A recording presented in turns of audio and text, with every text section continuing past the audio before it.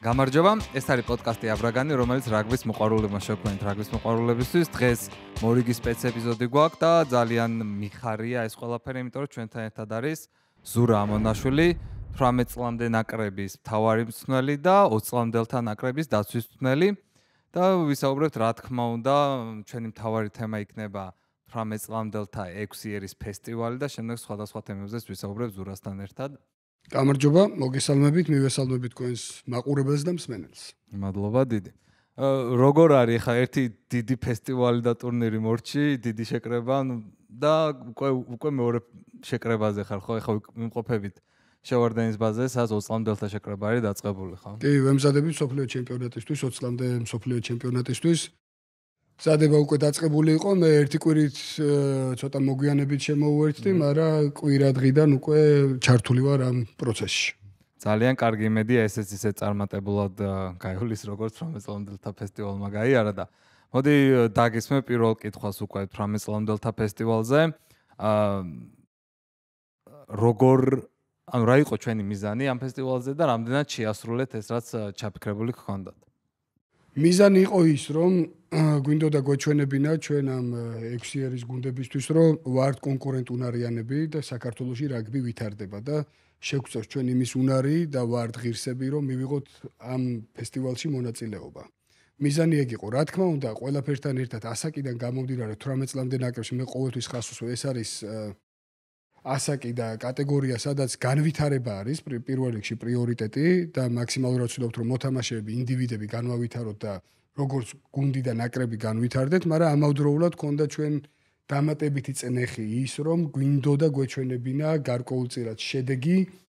ერთ თამაშზე მაინც ამ სამი თამაშიდან იქნებოდა ძალიან კარგი შედეგი, თუმცა გულის წვეტა მაქვს მაინც ის რომ ეს შედეგი შესაძლებელი იყოს სრულიად რომ სამივე თამაშზე დაფიქსირებულიყო ჩვენ სასარგებლოდ მაგრამ თლიანობაში რა თქმა უნდა მიზანი რაც იყო ის რომ გოჩვენებინა რომ ჩვენ ვართ კონკურენტუნარიანი გუნდი თუმცა ხას უსმე რომ უკეთესი ყოველთვის შეიძლება და ჩვენ უნდა ვიაროთ უკეთესობისკენ.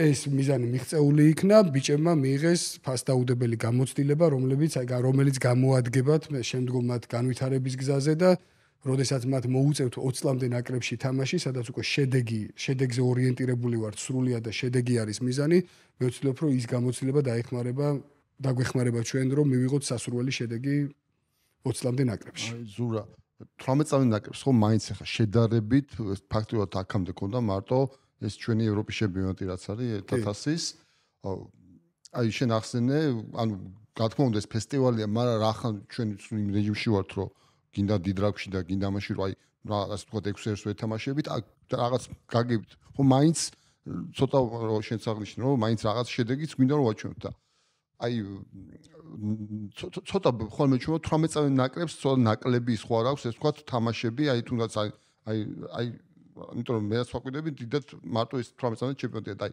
რამე შეაძლოა თუ არა რამე სანე კიდე მივცეთ ამ ბიჭებს პრაქტიკა არ გეჩვენებათ ნამდვილად მასე არის წარმოიდგინეთ აა პირველი საერთაშორისო დონის თამაში იყო ამ ბიჭებისთვის. პირველად დადგნენ საქართველოს ნაკრების ჰიმზე, პირველ თამაშზე თუ უყურეთ, ძალიან დიდი სხვაობა იყო ჰიმნის დროსაც. იქვე იგრძნობოდა, რომ ემოცია იყო უკონტროლო მე ავიღე ეს ჩემ თავზე რა თქმა უნდა მიუხედავად იმისა რომ ბევრი ვიმუშავეთ რომ ეს წნეხი მოგვეხსნა ალბათ კიდე უფრო მეტი უნდა მოგვეხსნა კიდე უფრო მეტი უნდა გვემუშაო რომ ეს წნეხი მოგვეხსნა მაგრამ ნუ ისე არ მოხდა როგორც რაღაცები ხوار რასაც მაგრამ კარგია. და მომზადებით ვერ ვერ მიიწე კი რა თქმა უნდა. ну მანამდე ერთი საერთაშორისო დონის თამაში ჰქონდა ლიონთან, კრაბუსებთან, ისე მოხდა რომ ის ლიონის არ იყო სრული შემადგენლობა იქიდან გავდე რომ 7 კაცა ქონდათ ნათამაშები რამოდენიმე დღის წინ და კარგი მოთამაშეები ძლიერი მოთამაშეები არ ყავდა და პლუს ამას ამ თამაშისგან მე მინდოდა მიმეღო სარგებელის რომ მაღალი ტემპი შემოეთევზებინათ რისი პრობლემაც გვაქვს ჩვენ შიდა ჩემპიონატში და მოხდა ისე რომ თავს ხმაწვიმაში მოგვიწია თამაში და ტემპი ვერ მივიღეთ და პლუს ამას მინდოდა გამომეცა და მსაჯობა როგორ იმსაჯებდნენ და როგორ მსაჯობენ საფრანგეთში აღმოჩნდა რომ იგივენაირად იდენტური იყო როგორც საქართველოსში ვთამაშობთ რაც შემდგომ ტურნირზე დაგვახვედრა სულ სხვა წესები და სულ სხვა ვიდეო და სულ გაფრთხილებები და რამაც დიდი გავლენა იქონია პირველ თამაშზე განსაკუთრებით. გასაგებია. ანუ ისე გამო თამაშებს რომ დაუბრუნდეთ რა თქმა უნდა საჭირო არის უფრო მეტი თამაში ყველა გუნდს ყველა ნაკრებს უკვე ნათამაშები ქონდათ ამ ფესტივალამდე უკვე ერთმანეთში მაგალითად საფრანგეთს ორი თამაში ქონდა გამართული იტალიასთან და ინგლისთან ორივე საკმაოდ სოლიდური სხვაობით ქონდა გამარჯობა ქონდა მოპოვებული ჩვენც ძალიან მნიშვნელოვანი არის რომ ჩავერთოთ და უნიშნულოვანესია რომ აი ეს მაღალი დონის თამაშები გაგრძელდეს და რაგბის კავშირი ამაზე მუშაობს მიმდინარეობს რაღაცა მოლაპარაკებები ჯერ არ არის დადასტურებული, მაგრამ ერთ-ერთ სტუდიაში ახსენე აგვისტოში სამხრეთ აფრიკაში შეიძლება გაიმართოს. ერთ-ერთი ვარიანტი არის კი და შესაძლებელია რომ იქ მიიღოთ მონაწილეობა, თუმცა ჯერ დადასტურებული არის. ხო, მე რა როგორი ის მაქვს ხოლმე ხიცი? იმიტომ რომ აი თუნდაც იგივე 20-ლებში, ანუ ახალგაზრდული რაგბის მიზანი მაინც საერთოდ ჯამში ხა გავითარებ ქვეყნებისთვის აი რომ მართლა გავითარება, იმიტომ რომ ხა პირობითად რა ვიცი ახლა რო ვიღაც რო გავარდეს თუნდაც იმ სოფლიოდან, ოფსაიდ სოფლიოდან, იმას ისეთი სტრუქტურა აქვს, თქვა სიტყვაზე ინგლისის ისეთი გუნდები ყავს, ისეთი ფრენჩაიზები ყავს, იქან ავითარებს მოთამაშეს ან წავალ ლესტერში და ან რა ვიცი ან ოსპრიშიანს ხო და ანუ ჩვენთვის უფრო ნიშნულოვანია, იმიტომ რომ იგივე შესაძლებლობები არ გვაქვს, ხო, მაგის თქმა კი, მაგრამ ნახეთ რა არის წინ გადადგმული ნაბიჯი, ადრე 20 წლამდეში რომ მოდიოდა, იყო ამ საერთაშორისო, ანუ ესე რაც არ უნდა უთხრა, მოთამაშეს რომ იქ ესია ეს თუ თავის თავზე არ გამოცადა არის ძალიან რთული რომ წორთნელმა დაარწმუნა რომ იქ ეს იმიტომ რომ უნდა გამოცადოს ეს. და თან ძალიან ძნელია რომ ეხლა ადაპტაცია ესე ხო არ არის არა უცებ მოახდინო გადაერთო როდესაც შიდა ჩემპიონატში სხვა ტემპი გაქვს სხვა წესები არის თქვათ უფრო მეტი გაჩერებები არის უფრო მეტი აქცენტი არის კონტაქტურ რაგბზე გადასული სადაც უფრო მეტი დრო გადაწყვეტილება მიიღო. იქ გაცილებით ყველაფერი მცირდება დრო და უფრო მეტი წნეხი შემოდის ხო? დაღლილზეც უფრო ჭირის გადაწყვეტილება და ეს ძალიან წინ გადადგმული ნაბიჯია რომ ამ ბიჭებმა ყველაზე მთავარი რაც არის ფსიქოლოგიური ფაქტორი რომ ჩვენ დავინახეთ და ნამდვილად მასი არის რომ ჩვენ შეგვიძლია ასე დიდ გუნდებთან თამაში ეხლა ჩვენი შემდგომი მიზანი რაც არის უპირველეს ყოვლისა ამ ესეთი ამ თამაშებში ვანახოთ კიდე უფრო მაღალი ხარისხი მაგალითად ის რომ კი ვითამაშეთ, გავიმარჯვეთ, მაგრამ იქ იყო მომენტები, სადაც რო დაბალანსებულიყო შერკინების და ხაზის თამაში და უფრო მეტი აა სითამამე რო გამოეჩინათ, ხო? უფრო უკეთესი იქნებოდა. მიუხედავად იმისა, ჩვენი მიდგომა არის ის, რომ შეცდომები დაშვება შეიძლება, თავარია ვისწავლოთ შეცდომებს. ხო, თამაშები ახსენე რა და ეს ახსენე რომ შოტლანდიასთან ძალიან ძიმე დავიწყე. ეს იყო ალბათ აი ა ხა როგორც გულშემატკივარი მე ხო ამ ტურნირი ძალიან კმაყოფილი ვარ. კი რაღაცაები ცოტა უფრო მეტი მინდა და ყოველთვის მენდომება რაც არ უნდა იდეალურად ვითამაშოთ, მაგრამ ძალიან კმაყოფილი ვარ როგორც გულშემატკივარი. ერთ-ერთი რაღაც მომენტი რომელთაც არ ვარ კმაყოფილი ალბათ ეს პირველი შოტლანდიის ტაიმი იყო, მაგრამ აბსოლუტურად გასაგებია რატომ იყო ესეთი ნაკლებად ხარისხიანი ასე ვთქვა. მაგრამ ნუ ჩემთვის ძალიან მნიშვნელოვანი იყოს რომ სამი თამაში, სამ გრანდთან ახსენე უკვე რომ ძალიან მაღალი ტემპი იყო ამ ტურნირზე, ჩავატარეთ სტაბილურად კარგ დონეზე. ანუ ისე კი არ იყო ერთ თამაში გაგვივარდა ან რაღაცა ეს სამი თამაში ჩავატარეთ ძალიან სტაბილურ დონეზე და აი ეს რამდენად რთული იყო თქვენთვის რა რა სირთულეებს შეეჯახეთ რომ ესეთ ტურნირზე სამი სტაბილური კარგი თამაში აგეტარებინა. პირველ რიგში აა თელი სამწვრთნელო გუნდი სტაფი ესე ვთქვათ, მთელი 18 წლამდე ნაკრების ფიზმომზადების ჩართულობა ძალიან ურთიერთშეთანხმებულად მუშაობდით, მაგრამ რაც არ უნდა მაგრად იმუშაოს სტაფმა მოთამაშეები თუ არ გავლენ და აა ვერ შეასრულებენ დავალებებს ესე ვთქვათ და თუ თვითონ არ მიიღებენ აა გადაწყვეტილებას მოედანზე დანახული სიტუაცია არაფერი არ მოხდება. ამიტომ ეს იყო კომბინირებული მუშაობა. მოთამაშეების ბიჭების, ანუ ეს ბიჭები სად სად ვითარდებიან, ხო? კლუბებში ვითარდებიან და ამიტომ მე მადლიერი ვარ ყველა კლუბის და არ მინდა რომ ეხა ეს რაზე ვსაუბრობთ რომ მხოლოდ და მხოლოდ მივიწერო რა მე მხოლოდ რომ მე რახან მე ვარ მთავარი მწვრთნელი, ეს ყველაფერი არის დაწყებული, რა თქმა უნდა, კლუბებში შედარებით ვითარდება სიტუაცია იქიდან გამომდინარე რომ უკვე დედაქალაქშიც რომ ავიღოთ, ხო? ცოტა ესე სიღრმეებში ჩავალ. უკვე ინფრასტრუქტურის მხრივ გაცილებით ნაკლები პრობლემაა, ვიდრე ადრე იყო. უკვე არიან კლუბები, რომელსაც ისეთი ინფრასტრუქტურა აქვს, რომ არანაირი ხელშემშლელი ფაქტორი არ არის, რომ მაღალი ხარისხის ვარჯიშები ჩაატაროს, ხო? და შესაძლებელი არის ეს. ეს ნელ-ნელა რაც უფრო დრო გრავა გრძელვადიანში, უფრო დიდი სურათი უნდა მოგცეს, რა თქმა უნდა, ძალიან მნიშვნელოვანი იყოს სწორად არის, სწორად იყოს შერჩეული ამ ასაკობრივ კატეგორიებში, ვინ მუშაობს, ეგ უკვე კლუბის გადასაწყვეტია. აქედან დაიწყო ეს ყველაფერი, რომ კლუბებიდან შედარებით უკეთესად მომზადებულები მოვიდნენ. გარდა ამისა, იცით რომ არსებობს 17 წლამდე აკადემია აღმოსავლეთში აქ მუშაობენ სამი მწვრთნელი არის ზვიად ცუხიშვილი დიდო კიკნაძე და თორნიკე კალანდარიშვილი რომლებიც ესე საერთაშორისო ასპარეზზე თითქოს არ ჩანენ მაგრამ ძალიან მაგარ საქმეს აკეთებენ სადაც მოთამაშეები მოდიან და ჩვენ მხოლოდ მუშაობთ ინდივიდუალური უნარების განვითარებაზე, ჩვენ არანაირი ინტერესი არ არის იქ რომ რაღაცა გუნდური სისტემებზე ვიმუშაოთ და არანაირი ანუ ჩვენთვის მნიშვნელობა არ აქვს ვინ მოიგებს თქვა შიდა ჩემპიონატში, უბრალოდ მოდის მოთამაშე ინდივიდუალური უნარები ვცდილობთ რომ გავამდიდოთ. რა თქმა უნდა, ეს არ არის საკმარისი დრო, უფრო მეტია საჭირო, კვირაში 2 დღე არის და ისიც იქიდან გამომდინარე რომ კლუბებს უფრო მეტი სამუშაო დრო დარჩენოდა. თამაშის შემდეგი დღე არის ერთ-ერთი დღე, რომელიც ჩემი აზრით უნდა შევცვალოთ, იმიტომ რომ მოთამაშე აუცილებელია რომ დაისვენოს, მაგრამ სხვა შემთხვევაში უნდა გადავსულიყავით ერთ დღეზე. ხო ხდებით, ანუ ცოტა ფორს მაჟორული სიტუაცია აკადემიების მხრივაც რაგბის კავშირი ახლა სჯელობს ამაზე და ალბათ უახლოეს მომავალში მიიღებს გადაწყვეტილებას და ბევრად უფრო სტრუქტურიზებული იქნება ეს ყველაფერი რაც სამომავლო დიდ სურათში ძალიან დიდ სურათს მოგცემს ძალიან კარგ სურათს მოგცემს მომზადება 18 დღე ქონდა სულ იცით შეკრება. თან რაცა ინტერვალებით იყო ხო? 3-5 დღე ეს. ხო იმიტომ 18 დღეში რომ 18 წლის ბიჭი წაიყვან 17 წლის ბიჭი წაიყვან ოჯახს მოწყვიტო რომელიც ხშირ შემთხვევაში პირველად ხდება.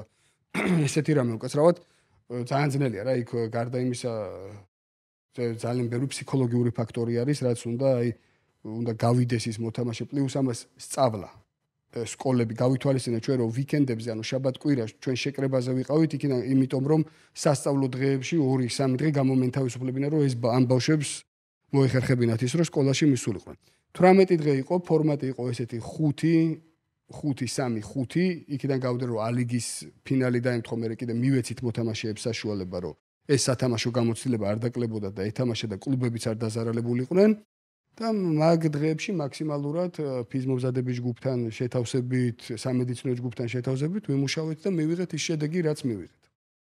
კი, თუ თამაშებს შევეხოთ კონკრეტულად თამაშებს. ან შოლანდით დავიწყოთ, ნუ მაგთამაში მიყავდა და ნუ ის რაც მახსოვს ეს არის რომ რა თქმა უნდა ძალიან ნერვიულდით და პირველ ტაიმ ფაქტობრივად ჩავაგდით, მაგრამ აი პირადად მე თამაშის დროსაც ვერ შევიკავე თავი და საჯის მიმართ ძალიან გამოხატეთ მაგრამ მე თამაში დასუნდა ბოლოსკე რომ წავიდა მაინც ჩავთვალე რომ აი რაღაც გაგები ცოტა შეგვისრულეს რომ თავის შანსი გამოიყენეს. ბოლოში ჩვენ ვერ გამოიყენეთ. ვერ ვიტყუდი იმას რომ არ იმსახურებდა სხვათა შორის ანუ რაც იყო შენ რომ გააკეთე შეფასება ფაქტობრივად საჯ საერთოდ არ ახსენე საერთოდ საჯი. ანუ აი მაგთავში შეფასება თუნდაც როგორ ხდება ანალიზი აი აი აი როგორ ხდება ეს რომ აი თქვა დაუშვებს საჭმე შეცდომა თუნდაც ხო შეიძლება ანუ როგორ ხდება წვრენების მიერ მაგმენტის აი თქვა ისა რომ თქვა რაღაცა აი ამ სიტუაციებს როგორ განიკილავთ მოდი ესე ვთქვა. ახალგაზრდა ბიჭები არიან ძალიან ძნელია ამას აქში რომ საჭთან ადაპტაცია მოახდინო და მაგდენი გამოცდილება ჯერ არ აქვთ ამ მოთამაშეებს დაგროვილი. საჭებს ისევ არ შევეხები მათი გადაწყვეტილება მათი გადაწყვეტილება მიუხედავად როგორი მსაჯობა იყო და რაც იყო ჩვენ რო ის შეცდომები რაც ჩვენ თავზე იყო დამოკიდებული არ დაგვეშო ჩვენ შეგვეძლო რომ ეგ თამაში ანგარიში ჩვენთვის სასარგებლოდ დასრულებულიყო.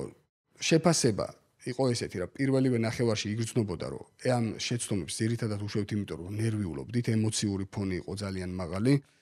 მიუხედავად ბევრი დაშვებული შეცდომებისა ბევრი დადებითი მომენტიც იყო მაგ თამაში და ბევრი დადებითი მომენტი ამოვიღე და ძირითადად აქცენტი გავაკეთეთ რა იყო კარგი და შეცდომებზე უფრო ნაკლები აქცენტი გავაკეთეთ თამაშის შემდეგ და ეს დაგვეხმარა იმაში რომ გუნჩი მოვიდა თავდაჯერება და შემდეგ თამაშზეც მე გაცილებით უკეთესად ვითამაშეთ. იმ შეცდომებს უბრალოდ ჩვენი სათქმელი არის სულ ერთი და სულ ერთი შეცდომა დაუშვი გადადი შემდეგზე როგორ შეგიძლია გამოასწორო როგორ როგორ იმიტომ რომ შესვენებაზე გამოვიდნენ თუ არა ეგრევე საჯის მიმართ მოთამაშეებს როგორ ეგ მაინტერესებს ზუსტად.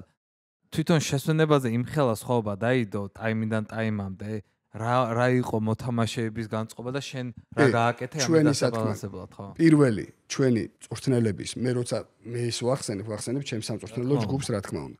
პირველი რაც იყო მე არ მაინტერესებს რას ვსაჯობს საჯი მაქსიმალურად ვეცადოთ რომ ადაპტაცია იყოს. არ მაინტერესებს რას თამაშობს შოტლანდია.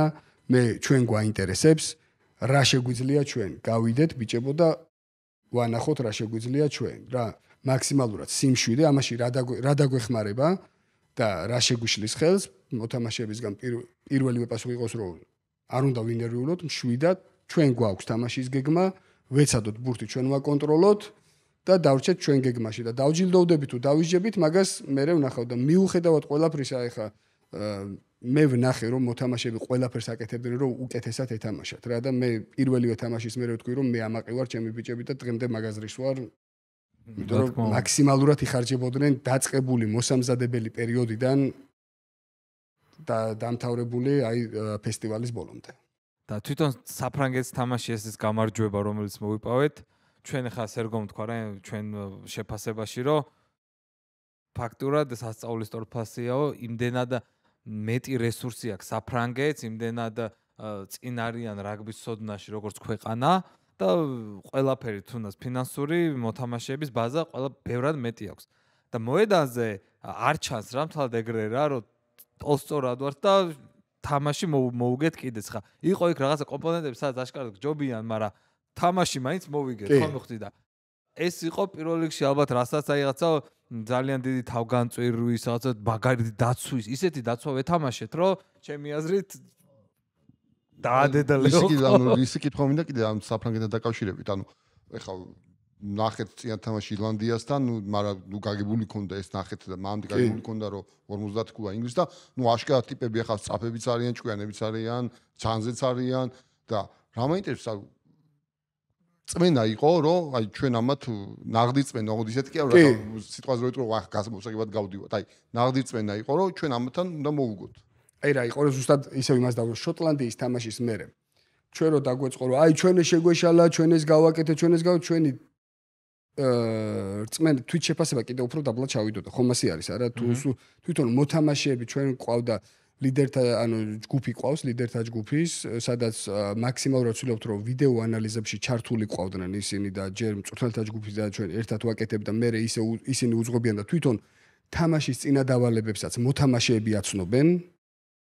გუნს რაზე უნდა იყვნენ ყურადღებით და რა არის ძირითადად კიდე რა იყო რა გაყოფილი ქონდა 80-20. 80% იყო ჩვენი ანალიზი და 20% იყო მხოლოდ მოწინააღმდეგის რა. ჩვენ რო ეხა დაგვეწყო იქ რო აი 70 ქულა მოვდაფრინო და ეს ანუ ჩვენ წისქვილზე წყალს არ დაასხავდა რა უბრალოდ ახალგელებში როგორ არის მე იცვლება ეხაც ეგრეა არა მანდაც ძირითადად ეგრეა უფრო ოცლანდეში უფრო მეტად გამოცდილი მოთამაშეები ყავს და კიდე უფრო რაღაცეები მარტივდება რა მთავარი რა არის იცით რეალობას არ უნდა გავიქცეთ რეალობას თვალებში უნდა შევხედოთ მაგრამ თავარი არის კიდე რა რომ შენ სამწუხარო პროცესს რაზე აგებ რა? სულ უარყოფითი და ნეგატივი თუ არის ბალანსი პოზიტივსა და ნეგატივს შორის? ამიტომ პირველი თამაშის შემდეგ რაც შეუძელე თვითონ ბიჭებმაც გუნჩიც რაც ირწმუნეს ის რომ ამ ამოღებული იქნა თვითონვე წამოიღეს კარგი მომენტები სადაც მართლა კარგად ვითამაშე თუმცა იქვე ვთქვით რომ ჩვენ შეგვიძლია და შეგვიძლია რომ ვიყოთ უკეთესები და ვისარგებლოთ რითი. ნახეთ, მაგ ფესტივალზე თუ ვინმეს წაგება არ უნდა და ვინმესთან იყო საქართველოს და პორტუგალია. ხო, თავისთავად. ორი გუნდი რა. და ცოტა უკან რო დაბრუნდებ, ზუსტად მაგ თამაშამდე იყო მთავარი მწვრთნელების შეხვედრა და იყო წარდგენა ფასვეი რა, ანუ მიმყვალი გზები, ხო, როგორ როგორ მოდიან აქამდე რა და ნუ ეხა საფრანგეთის თან წარმოიდგინეთ ერთი და იგივე დრო ქონდა 15 წუთი იყო რა. 15 წუთში უნდა მორჩენილიყავ შენ და მე და დავით ლობჟანიძე ვიყავ იყო მთავარი მწვრთნელი და ფიზმომზადების მწვრთნელი და უნდა თქვა რაში რაზე ამახვილებ ყურადღებას სელექციას როგორ ახდენ რამდენი კაციდან არის და პირველი. ჩვენ ალიგაში ყავს 13 კლუბი. და პაუზა არის. კითხვა ერთ რეგიონში? არა, ვეუნები, მთელ საქართველოში. და მე რაღაცნაირად გამიადვილ და რომ მეორე ვიყავი. ანუ რიგითობით, თორე ალბათ საფრანგეთის და იმის მერე რო გავსულიყავი, კიდე რაღაცებს მოვიგონებდი და დავამატებდი რა, რაღაცა ჩავრთავდი უკვე. ხო, ჩავრთავდი უკვე, რაღა შემწხვებოდა, რაღაცებს გავბერავდი რა და ну ვილაპარაკე ის რომ ჩვენთან არ არის სასკოლო რაგბი და მაგ ხრივ გჭირდება განვითარება და ეხა შევიდა ეს რაგბი ლენტები, getting to rugby და ძალიან კარგი არის კი და ძალიან კარგი არის და ძალიან დაგვეხმარება და გრძელვადიანში ძალიან დადებითად იმოქმედებს. მოკლედ ის რომ უნივერსიტეტების უმრავლესობა ჩვენთან არის მხოლოდ დედაქალაქში და ბავში რო ანუ როცა ამთავრებს სკოლას მოდის დედაქალაქში და თავს იყრის აქ და ну რიგი რიგი პრობლემები რა და ბოლოს მეუბნებია lots of challenges-ო რა ანუ ეხლა ხო არ მეუბნები სულ პრობლემაა მეუბნები ეს გამოწვევა გამოწვევა გამოწვევა და ამ დროს იმათი შეფასება რა და სწორედ მაგითი ვისარგებლეთ ჩვენ რა ვთქვით რომ ჩვენ თუ 55 წუთი თამაში დავრჩებით? ბოლო 15 წუთი ისინი უფრო მეცინერიულებენ ვიდრე ჩვენ. ნუ ეგრეც და აა ბიჭებმა მოახერხეს ეს სამწოლო ჯგუფმა ბიჭებმა მოახერხეს მოთამაშეებმა მოახერხეს ეს. მიუხედავად იმისა რომ სულ დევრის როლში ვიყავით ფსიქოლოგიურად ძალიან მდგრადად ვიყავით და დაგვეხმარა რა კიდე მოდი გულახდილები ვიყი იმიტომ რომ მე ყოველთვის გულახდილად მიყვარს საუბარი ფესტივალის ფორმატი. ფესტივალის ფორმატი ითვალისწინებდა რას რომ შენ შეყვანილი გამოყვანილი მოთამაშე შეგიძლია დააბრუნო. იმიტომ რომ მაგითი ვისარგებლეთ მაგრად მწვრთნელებმა და თუ დააკვირდით სულ როტაცია ხდებოდა და ვცდილობდით რომ ახალი ძალა იმიტომ რომ შიდა ჩემპიონატის ტემპი სხვა არის როგორც აღნიშნე და იქ სხვანაირად დავიღლებოდით ჩვენ რო ეგ წესი ამ წესით გვეთამაშა რა შიდა ჩემპიონატში გამარჯვების შანსი შედარებით ნაკლები იქნებოდა. რა თქმა უნდა ვიყოთ გულახდილო. ანუ ეს დახარ ეს დასვენება დაღლილის შეცვლამ, მაგრამ მაგრად იმუშავა, ბიჭების სასახელოდ უნდა ითქვას.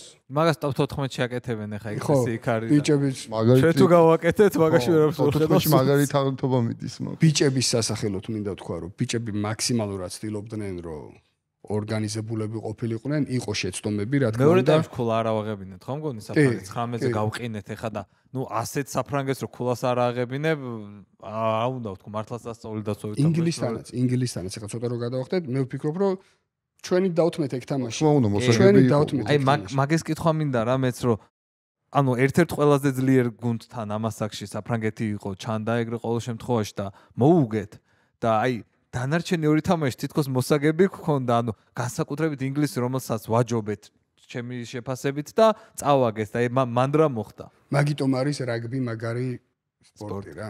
ყველა მაჩვენებელში, ბურთის ფლობაში რაკსა და ფეხის ბალანსში ვითვლით რა, რამდენი რაკი იყო, რამდენი ფეხის დარტყმა იყო. იქიდან გამომდინარე, რომ ტერიტორიული უპირატესობა ხშირად ქონდა ხოლმე და მათ ნახევარზე თამაშობდით, ეგ ბალანსი შეცვლილი არის.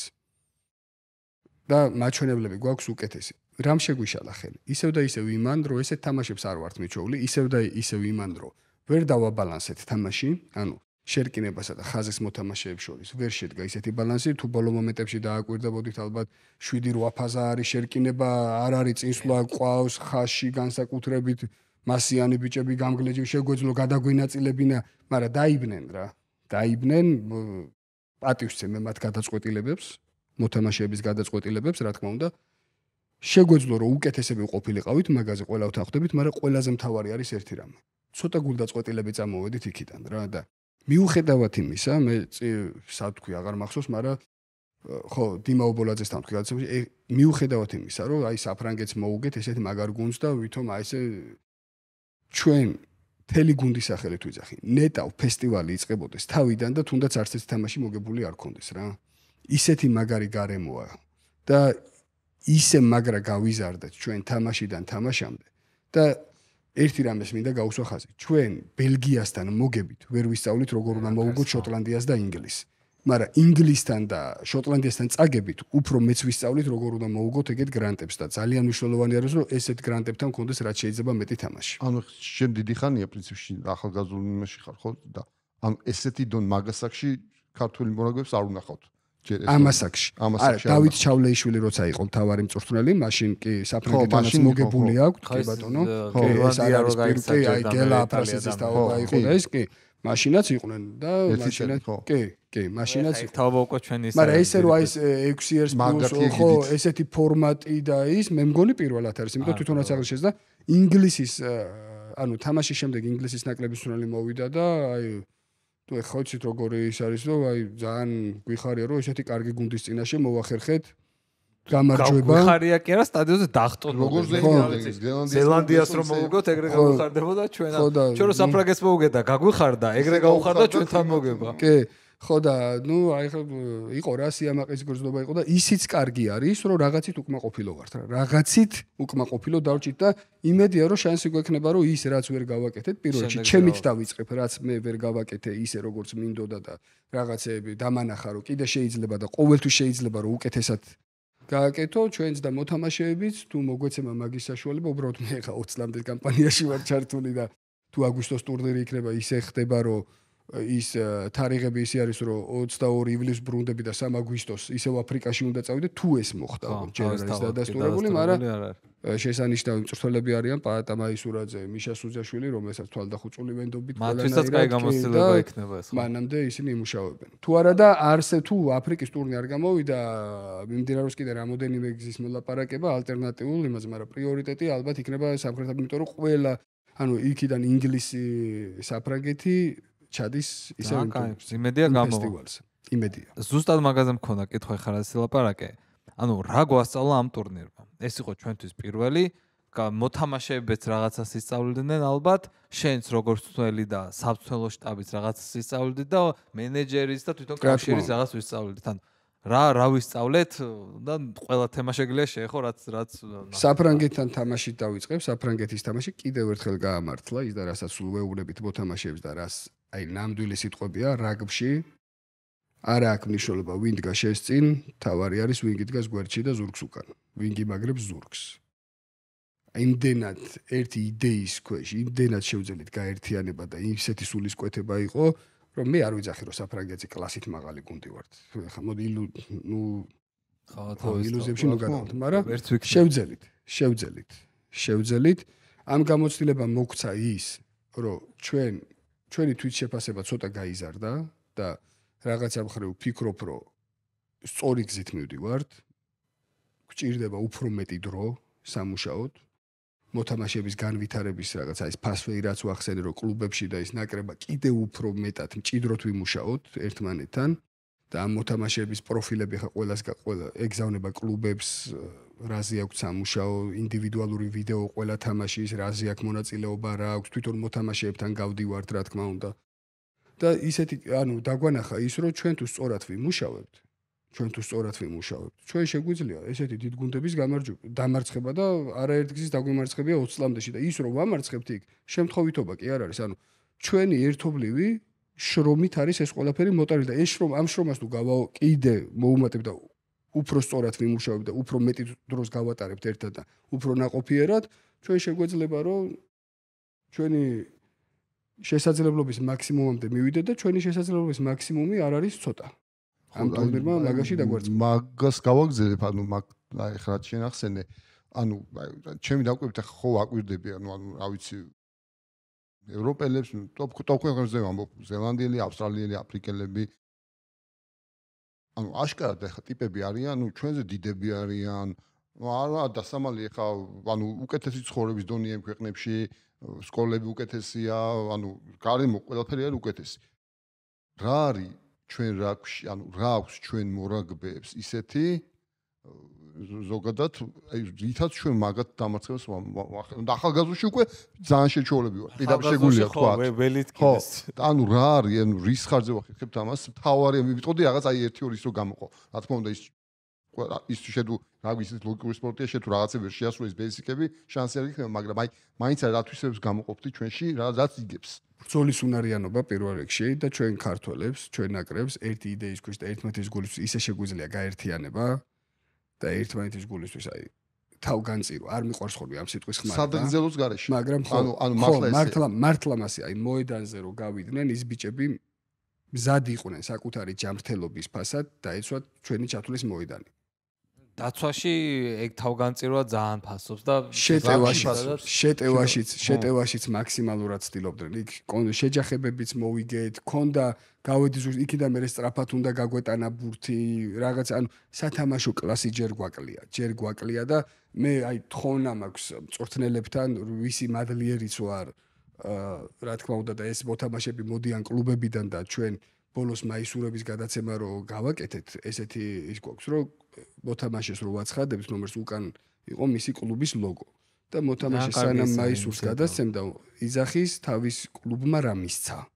და ყველა მოთამაშე ისეთი მადლიერია თავისი კლუბის როგორც უნდა იყოს რა თქმა უნდა და ეს ვიდეოებიც კლუბებს გადაეგზავნებათ ინდივიდუალურად და თუ თქვენ სურვილი გექნებათ მე გამოგიგზავნოთ უბრალოდ რომ ნახოთ მე ვთხოვ ერთ რამეს, რომ მოთამაშეებს, ახალგაზრდა მოთამაშეებს მიუცემთ შეცდომის დაშვების უფლება. ნუ ვიქნებით ძალიან კრიტიკულები მათ მიმართ. ნუ ნუ დაუყვირებთ ხმამაღლა, ნუ შევარცხენთ დამსწრემ შობლებთან, ნუ მოუკლავთ გადაწყვეტილების მიღების სურვილს, თუნდაც იყოს მცდარი და თუ რაღაცა შეცდომით დაუშვებენ, ერთად ერთად ვიმსჯელოთ იმ მოთამაშეებთან, ერთად გამონახოთ სწორი გზა, ყოველთვის რა თქმა უნდა შეიძლება არ იყოს თანხვედრა აზრის და სხვადასხვანაირად ფიქრობდნენ, მაგრამ განსხვავებული აზრი არნიშნავს ცუდ აზრს. მაქსიმალურად ვეცადოთ ჩვენ მწვრთნელებმა, რომ ჩვენი არგუმენტებით დავარწმუნოთ ის მოთამაშე და თუ ეხა მოთამაშეს არ იცვლება, მაგ შემთხვევაში შეგიძლია შეცვალოთ თვითონ მოთამაშე, რა თქმა უნდა, მაგრამ თავარი არის, რომ არ მოუკლათ სურვილი გადაწყვეტილების მიღების, იყვნენ თამამები, ჩვენ რაც დაგვაკლა. ჩემ ჩემ თავზე ვიძახი, მე კიდე უფრო მეტი უნდა მემუშავა იმაზე. რომ კიდე უფრო დაგვებალანსებინა ხაზის მოთამაშეებსა და შერკინების მოთამაშეებს თამაში. ვიცით, გვესმის, რომ ხშირად არის ხოლმე ეგეთი გამონათქვამიც არის, რომ თამაშს იგებს წინა რვა კაცი, ხაზი წვიტავს, ხაზის მოთამაშეები წვიტავენ რა ანგარიშით მოიგებენ, მაგრამ იმ შექმნილი უპირატესობის გამოყენება მე არის ძალიან მნიშვნელოვანი და არა უნდა დავაბალანსოთ ჩვენ ყავს ძალიან კარგი შერკინების მოთამაშეები და ყავს ძალიან კარგი ხაზის მოთამაშეები. ნელ-ნელა ეს მცირდება, მაგრამ კიდევ უფრო მეტად უნდა დავაბალანსოთ. ზუსტად მაგერთან ჯერ პირველ რიგში რაც თქვი იმას ორივე ხელით მოვაწერ, რა ვიცი. მეც შეუერთდები მაგ ნათქვამს, რომ შეცდომის დაშვება, თუ არ დაო შეცდომა ვერ ისწავლი და ეს რაც ახ ინიციატივა არ უნდა იყოს დაშადი, არამედ პირიქით უნდა წაახალისო და ეს აუცილებლად დადებს შედეგს, განსაკუთრებით ბავშვებში. და შენ თვითონ თქვი რომ ვერ დავაბალანსეთ თამაში ხა მე ვფიქრობ რომ აი უკანა ხალხში ხა იმდენი კარგი მოთამაშე ყავდა კი რო ყველა ხო აი 12 ნომერი ბულდოზერივით აკეთებდა იმას. 20 წლამდესთან არის ხა ხო გაფართოებულ შემოგვიდგენში ფიზიკა ქონდა დაცვაში შეტევაშიც იყო ძალიან ეფექტური არა ყველა კარგი ბიჭი იყო. ხო უკანა ხაზელები ჩქარები ფინტი ქონდა პასიც ქონდა მაგრამ აი საბოლოო ჯამში ხუთი პასი ნახევრად მომენტები ბევრი შევქმენით, მაგრამ ქულებში ვერც ერთ ვერ ავსახეთ. იმიტომ რაღაცა ერთი პასე გაფუჭდა. კი. აი რატო ფუჭდება და რა უნდა გავაკეთოთ, რომ ეს არ გაფუჭდეს და ის შემდეგ ექვს ერზე ფესტივალზე. ან 5 წლის შემდეგ მაინც აა ესეთი შეტევები და ესეთი დავასრულოთ და თან ესეთი ნიჭიერი მოთამაშეები რო ყავს ხალხში მაქსიმალურად გამოვიყენოთ. რა უნდა გავაკეთო და მაქსიმალურად უნდა შევქმნათ სავარჯიშო გარემო ისეთი სათამაშო გარემოსთან მიახლოებული თამაშების მოთხოვნიდან გამომდინარე უნდა იყოს კოგნიტიური აუცილებლად რომ მოთამაშეს უწევდეს გადაწყვეტილების მიღება და არა დახურული სიტუაციები მხოლოდ რომ ორი ერთზე მცველი მარტო ერთ კაცზე მოდის და შენ პასი გაუშვი და ის უნდა კონდეს არჩევნის საშუალება და გადაწყვეტილების მიღება და გადაწყვეტილების მიღების დროსაც უნდა გავითვალისწინოთ მწვრთნელებმა ჩვენის რომ მხოლოდ უარყოფითზე არ გავაკეთოთ აქცენტი და გავაკეთოთ დადებითზე და დადებითზე როდესაც შენ ახალგაზრდა მოთამაშეს შეაქებ. უფრო მეტად მოუნდება იმას იმ სწორი ქმედების გამეორება ვიდრე რაზეც შენ დასჯიან და უყვირებ უბრალოდ მოერიდება და მაქსიმალურად ეცდება რომ მე მარტივი გზის ძებნა დაიწყოს. უფრო მეტი უფრო მეტი გვინდა ჩვენ აი ეს ვარჯიშებში ჩართულობა სათამაშო სიტუაციებში ეს მე არ ვიძახი რომ ეს არ ხდება. ხდება კლუბებში, მაგრამ ალბათ კიდევ უფრო მეტი გვინდა რა მომწონს მეთქი მე თქვი რა ჩვენ ეროვნულ ნაკრებში ხარ ძალიან ძნელი ეროვნული ნაკრების და შავი ლომიშია და რო ახალგაზრდა აი მე ვესტრები ძალიან ბევრი ვარჯიშს. მე არ მახსენდება რომელიმე ვარჯიში, რომელიც აი უაზრო დაკარგული დრო არ მახსენდება. ყველაფერს აკეთებენ ისეც, რისი რისი გაკეთებაც შეიძლება მოუწიოს თამაშზე. და ზუსტად ეგ არის, ჩვენ ტემპი უნდა ავწიოთ. ძალიან მნიშვნელოვანი არის, რომ შიდა ჩემპიონატის ტემპი ავწიოთ. ამისთვის უნდა მოვიგონოთ წესები. ამისთვის რა არის საჭირო? ჩაჭური რეაქცია. როდესაც ახალგაზრდა საჯიმ საჯობს, ახალგაზრდა ჭაბუკების იმას და იქ პატარა წიმპას თუ გაატარებს და მწვრთნელი დაუწყებს, ე და ყვირილს დაუწყებს და იმას იმას აღარ მოუნდება, ამიტომ ჩვენ უნდა შევთანხოთ ეს საერთო მიზანი რა არის. მე სულ ვიძახი, კლუბები არის, ჩვენ ვართ ერთი ოჯახის წევრები ვართ რა, სხვადასხვა ოჯახის წევრი ვართ, სხვადასხვა შეხედულებებით, რა თქმა უნდა, ყოველას თავისი ცხოვრება, ყოველას თავისი მიზანი აქვს, მაგრამ ჩვენ საერთოზე უნდა შევთანხმდეთ რა, რა გვინდა და როგორ გვინდა რა. ის რომ საფესტივალო ასაკში რომელი გუნდი მოიგებს, ეგ არ არის მაჩვენებელი, რომ იქ უკეთესი მწვრთნელია. რა თქმა უნდა. ანუ მე არ ვიძახი, რომ იქ ცუდი მწვრთნელია. მაგრამ ეგ უმეტესწილად არის უფრო მაჩვენებელი იმაზე, ვის როგორი თაობა მოუვიდა. მიხვდი? აი მაგის მერე უკვე, ის რა თქმა უნდა, იმას უკვე თავისი დამსახურება აქვს, რომ ეს კარგი თაობა მიიღო, შეამაგრა, სხვა სპორტში არ წავიდა, მოსწონს რაგზე სიარული, მაგრამ აი მერე ის განვითარების გზები, სადაც უკვე დამაგრების გზებიდან უკვე ლევან ობულაძე მისაუბრა მაგაზე, მე უსმინე თქვენს წინა გადაცემას, სადაც უკვე აი განვითარების ეტაპზე გადავდივართ, აი განვითარება როგორ ხდება. რა დროს უთმობენ, რამდენად არიან ჩასულები ინდივიდუალიზმამდე, რამდენად იცნობენ მოთამაშეების מחასიათებლებს, თქვათ, რა პრობლემები აქვთ მოედნის გარეთ, ანუ მოედნის მოედნის გარდა რამდენად მუშაობთ მოედნის გარეთ. რამდენად ვახდენთ რამდენად უწევთ თქვათ რეკომენდაციას ბავშვს რომ ისწავლოს კარგად და კარგი განათლება მიიღოს. თავარი პრობლემა სად არის? ანალიტიკურ აზროვნებაში. ბავშვებს უნდა მივაჩვიოთ თავიდანვე ანალიზის კეთება. ჩვენი მიზანი სწორედ ეგ არის, რომ რაც შეიძლება მეტი ვაფიქროთ, იმიტომ რომ გვინდა რომ მოთამაშეები იყვნენ იმ ვიდეოში ჩართული, ოღონდ სრული პასუხისგებლობა იმათ კი არ მივცეთ, რომ რაღაცა შეცდომა არ დაუშვან და არაფერი დავეხმაროთ, მივიყვანოთ სწორ გზამდე და მე ვალაპარაკოთ. როგორ ხედავენ? მე ძალიან ბევრი მისწავლია მოთამაშეებისგან. და კიდევ ვისწავლი და მზად ვარ, იმიტომ რომ ძალიან ბევრი ჭკვიანური რამე გამიგია. რასაც აი სხვანაირად ვფიქრობ და რომ მიკითხე, აი ამას რატო აკეთებ? ისეთი პასუხი მიმიღია, რომ მიფიქრე, რომ აქამდე რატო არა მაქვს აბაზე ნაფიქრი? თურმე ამბობს ეგრე არის რა, იმიტომ რომ რაღაცეებში ისინი უკეთესად ერკვევიან, რაღაცეებში არის მომენტები რა, რაღაცეები რაზეც უფრო იმათ უფრო მეტ იმ კონკრეტულ მომენტზე უფრო მეტი ფიქრი უწევ და საინტერესოა მათი აზრი რა ძალიან საინტერესო მოსასმენია მე კიდე რა მინდა რა თქვა ის მოთამაშეები ყველაზე მეტად გული რაზე მწყდება რა რომ საბოლოო ჯამში უნდა მიხვიდე რაღაც აა უნდა დაასახელო ციფრი ხო რაოდენობის ვინც რამდენიც მოდის ხო ეხა ეგ არის ტურნირის ფორმატზე ფესტივალის ფორმატზე დამოკიდებული ხო უნდა მიხვიდე და 26 მოთამაშე უნდა შეარჩიო ხო ვიღაც გადადის კლუბის განკარგულებაში. ვერ ვერ ხვდება იმ მომენტში ნაკრებში. მე მადლობა მინდა გადაუხადო, იმიტომ რომ ჩვენ ხო ერთმანეთს ვაძლიერებთ. რო არა ის ბიჭები და ეს ამათ რო ერთმანეთში არ ევარჯიშათ. ჩვენ ხო ერთმანეთის საქმეს ვაკეთებთ არა. მე ძალიან მადლიერი ვარ მათი, რომ მაქსიმალურად ჩართულები იყვნენ და სულ მაგას ვიძახი და ეხაც მიმართავ ახალგაზრდა მორაგბეებს. 18 წლამდეთის ბედნიერი ვარ და რა რა მიადვილდება 18 წლამდე ნაკრებში არაფერი არ ვთავრდება აქედან მხოლოდ იწყება და ხშირად სტატისტიკები მომყავს მე რომ რამდენი მოთამაშე ხდება? 20 წლამდეში რამდენი? რომელსაც 18 წლამდე არ უთამაშია და რამდენი მოთამაშე ხდება? ეროვნულში რომელსაც შეიძლება ასაკობრივი ანუ ეს ისეთი ასაკობრივი კატეგორია სადაც მუდმივად ხდება განვითარება და ეს განვითარება ნაკრებში ეროვნულში ისეთი მოთამაშეები ვისაც 20-ები საერთოდ არ გაუვლიათ აბუაძე კი საერთოდ არ უთამაშია კი ნაკრებში კი ახალგაზრდული ნაკრები ანუ მათზე არის დამოკიდებული რამდენი შრომები და მე თუ დამარწმუნებენ იმაში რომ იმ წუთას. გარკვეულწილად მე კი ახლა ჩემ თავთან ყოველთვის საუბარი გვაქვს მწვრთნელებში და მარტო ერთ პირველად არ ვიღებ და სულ. საუბარი. თუ მოთამაშემ უნდა იცადოს რა რომ ზურა ამონაშვილი შეცდა ამ ამ ეტაპზე რომ მე არ ამიყვანა და მე ამას უნდა დაუმტკიცო რომ შემდეგში აი ნახე რა პოტენციალი მაქვს ამან ჩემი კარგად ვერ გასაზღვრა. სულ ანუ ეგ მე გამიხარდება. ეგ მე გამიხარდება მხოლოდ და მხოლოდ გამიხარდება და ეგ არის რომ ყოველთვის მუდმივ. ჩვენი თავარი კითხვა როდესაც დავიწყეთ შეკრება არის ესეთი როგორ გავხდეთ უკეთესები მოთამაშეები თვითონ იძახიან ამ სიტყვებს თქვა აქ რომ შრომის მოყარეობა ერთგულობა გულახდილობას აქვს ჩვენთან ძალიან დიდი მნიშვნელობა იმიტომ რომ გულახდილები უნდა ვიყო თუ რამე შემეშლება. მე მithქვია რომ ჩემი ბრალია სხვანაირად დავინახე მე ვიდეოზე რომ მინახია ესე მეგონა მაგრამ ესე არ ყოფილა მაგრამ რა თქმა უნდა მაქსიმალურად ვცდილობ რომ ეგეთი შემთხვევები არ იყოს. სხვათა შორის აი ლეგენდა აფრიკელების ლეგენდა დანი კრავენი ანუ აფრიკულის სამნუ ლეგენდარული მაგათი წვრენიც იყო ის ტურნირი მოგებული მე ფედერაციის პრეზიდენტიც იყო ლეგენდა და მაგის სიტყვებია რომ თავარი ანუ მოთამაშე უნდა იყოს გულად თაღლითი არ უნდა იყოს. თავარი არის ესო რა. აი მაგაზების ძველი ჩანაწერი ნახე ვიდეო. მოთამაშე რომელიც ცდილობს უსხოს გადააბრალოს საკუთარ ანუ ანალიტიკას თუ არასწორად აკეთებს და თუ თვითკრიტიკული არ არის ოღონდ თვითკრიტიკული უნდა იყოს ობიექტურად, არც ისე რომ სულ ყველაფერს საკუთარ თავზე იბრალებდეს, რა, ობიექტურად. ყველა საქმეში ეგრეა, მარტო მოთამაშეზე არ არის. ეგრეა პრინციპი საერთოდ. იმ მოთამაშეს ვისაც თვითკრიტიკა და ანალიზის უნარი აქვს, უფრო მზარდი არის რა და რაგბში სულ მაგას ვიძახი. ხალხო, მერწმუნეთ, რაგბი არის ძალისმიერი ჭადრაკი. რაგბი არ არის მხოლოდ კუნთმაგარი სპორტსმენების თამაში, რა თქმა უნდა, ძლიერი კუნთები და დიდი აღნაგობა და ის დაგეხმარება, რომ უკეთ ითამაშოთ, მაგრამ თავარი ყველაფერი იმართება აქედან.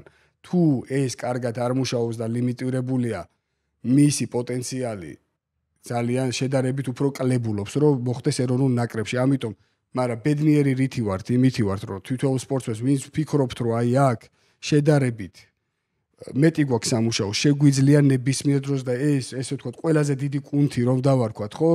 ყოველთვის არის განვითარებადი და ნებისმიერ დროს შეგიძლია რომ განავითარო. ეს არის მხოლოდ და მხოლოდ საკუთარ თავზე დამოკიდებული და რა თქმა უნდა მწვრთნელების მთავარი ამოცანა არის რომ დავეხმარო თამაში და დავასრულებ იმას. როგორც ვე ჩაბიწები იძახიან ამ სიტყვებს ერთგულება, შრომის მოყარეობა, ანალიზი, გულახდილობა მე ჩვენი ყველა ვარჯიშის დასრულების შემდეგ გვაქვს რიტუალი. რიტუალი არის ესეთი: იმ სიტყვებიდან ერთ-ერთი სიტყვით მთავრდება ვარჯიში, რომელსაც ფიქრობენ, რომ არის გამოსასწორებელი, ან იყო ყველაზე კარგი. ამას აკეთებენ მონაცვლეობით, ერთი ადამიანი არიძახის და ეს არის ესე თქვა შემახსენებელი რა, მაგალითად ხშირად იყო ხოლმე რომ ჩართულობა, ყველაზე მეც მაგას ეგ გვიწევდა ხოლმე რა, რომ აი მაგას უნდა მივაჩვიოთ ბავშვები რა, რომ რომ შემოდის მოედანზე. ვარჯიშის ნახევარი არ უნდა დაიკარგოს მათ გამოფხიზლებაში. უნდა მივაჩვიოთ მაგას, რომ რომ შემოვა უკვე ჩართული მაგას წინა პირობები აქვს რა, რომ შემოვა შეუძლია რომ ინდივიდუალურ სკილზე იმუშაოს და არა უბრალოდ დადგეს და ილაპარაკონ ერთმანეთში და ბევრი ფაქტორი არის და ამას დრო ჭირდება და ნელ-ნელა უკეთესი ხდება. სწორი მიდგომა, იმიტომ რომ ზოგადად კომუნიკაციაში და პრეზენტაციებში და შემდეგ გაყიდვებში არის რომ 1 2 რაღაცა მაქსიმუმ მიიტანო შენ სმენელამდე ან ვინ შენ წინზის და ვის თანს გინდა რომ ინფორმაცია მიიტანო და ძალიან რთული დიდი და კომპლექსური აზრები ან ბევრი არ მიდის და ამიტომ მივესალმები მაგ მიდგომას. კიდე ერთი კითხვა მაქვს. აი ეს პრობლემური პოზიციები ან პრობლემური უნარები რა აი მაგალითად დიდი ხანი მეორე ხაზელები დაბლები ყავდა უბრალოდ კაი ბიჭები მაგრამ ნუ დაბლები წინან წელს არ იყო ესე წელს ძალიან კარგი შენ თვითონვე აღნიშნე რომ მაღალი და ესეთი დიდი უკანა ხაზელები ყავდა. თუ არის ესეთ პოზიციები სადაც აი განსაკუთრებით გვიჭირს და და ან უნარები სადაც განსაკუთრებით გვიჭირს და ესეთი პოზიციების და უნარების როგორ ვცდილობთ რომ გამოვასწოროთ ხა ამას მარტო შენ ვერ გამოვასწორებ მაგრამ ალბათ გუნდებთან ერთად მიდის მუშაობა ანალიტიკა ჭირდება გარკვეული. აი ეგეთი რაღაც თუ მიდის უფრო გლობალურ დონეზე. ამას შენ იმიტომ გეკითხები რომ პირველი ნაკრების ველი ხარ ხო მოხდი და ალბათ რაღაცა ეს უნდა ვერტიკალივით უნდა იყოს მადლობა ამ კითხვისთვის პირველ რიგში და ახალგაზრდული ნაკრების სპეციფიკა ეგ არის რომ ყველა წელს გიწევს სხვადასხვა თაობასთან მუშაობა რა და საინტერესოც არის, გამოწვევაც არის, თავის სირთულეებიც აქვს, მაგრამ რა თქმა უნდა, რასაც ვიძახი, დადებითიც უფრო მეტი არის ვიდრე სირთულე. დამოკიდებულია როგორი თაობა მოდის.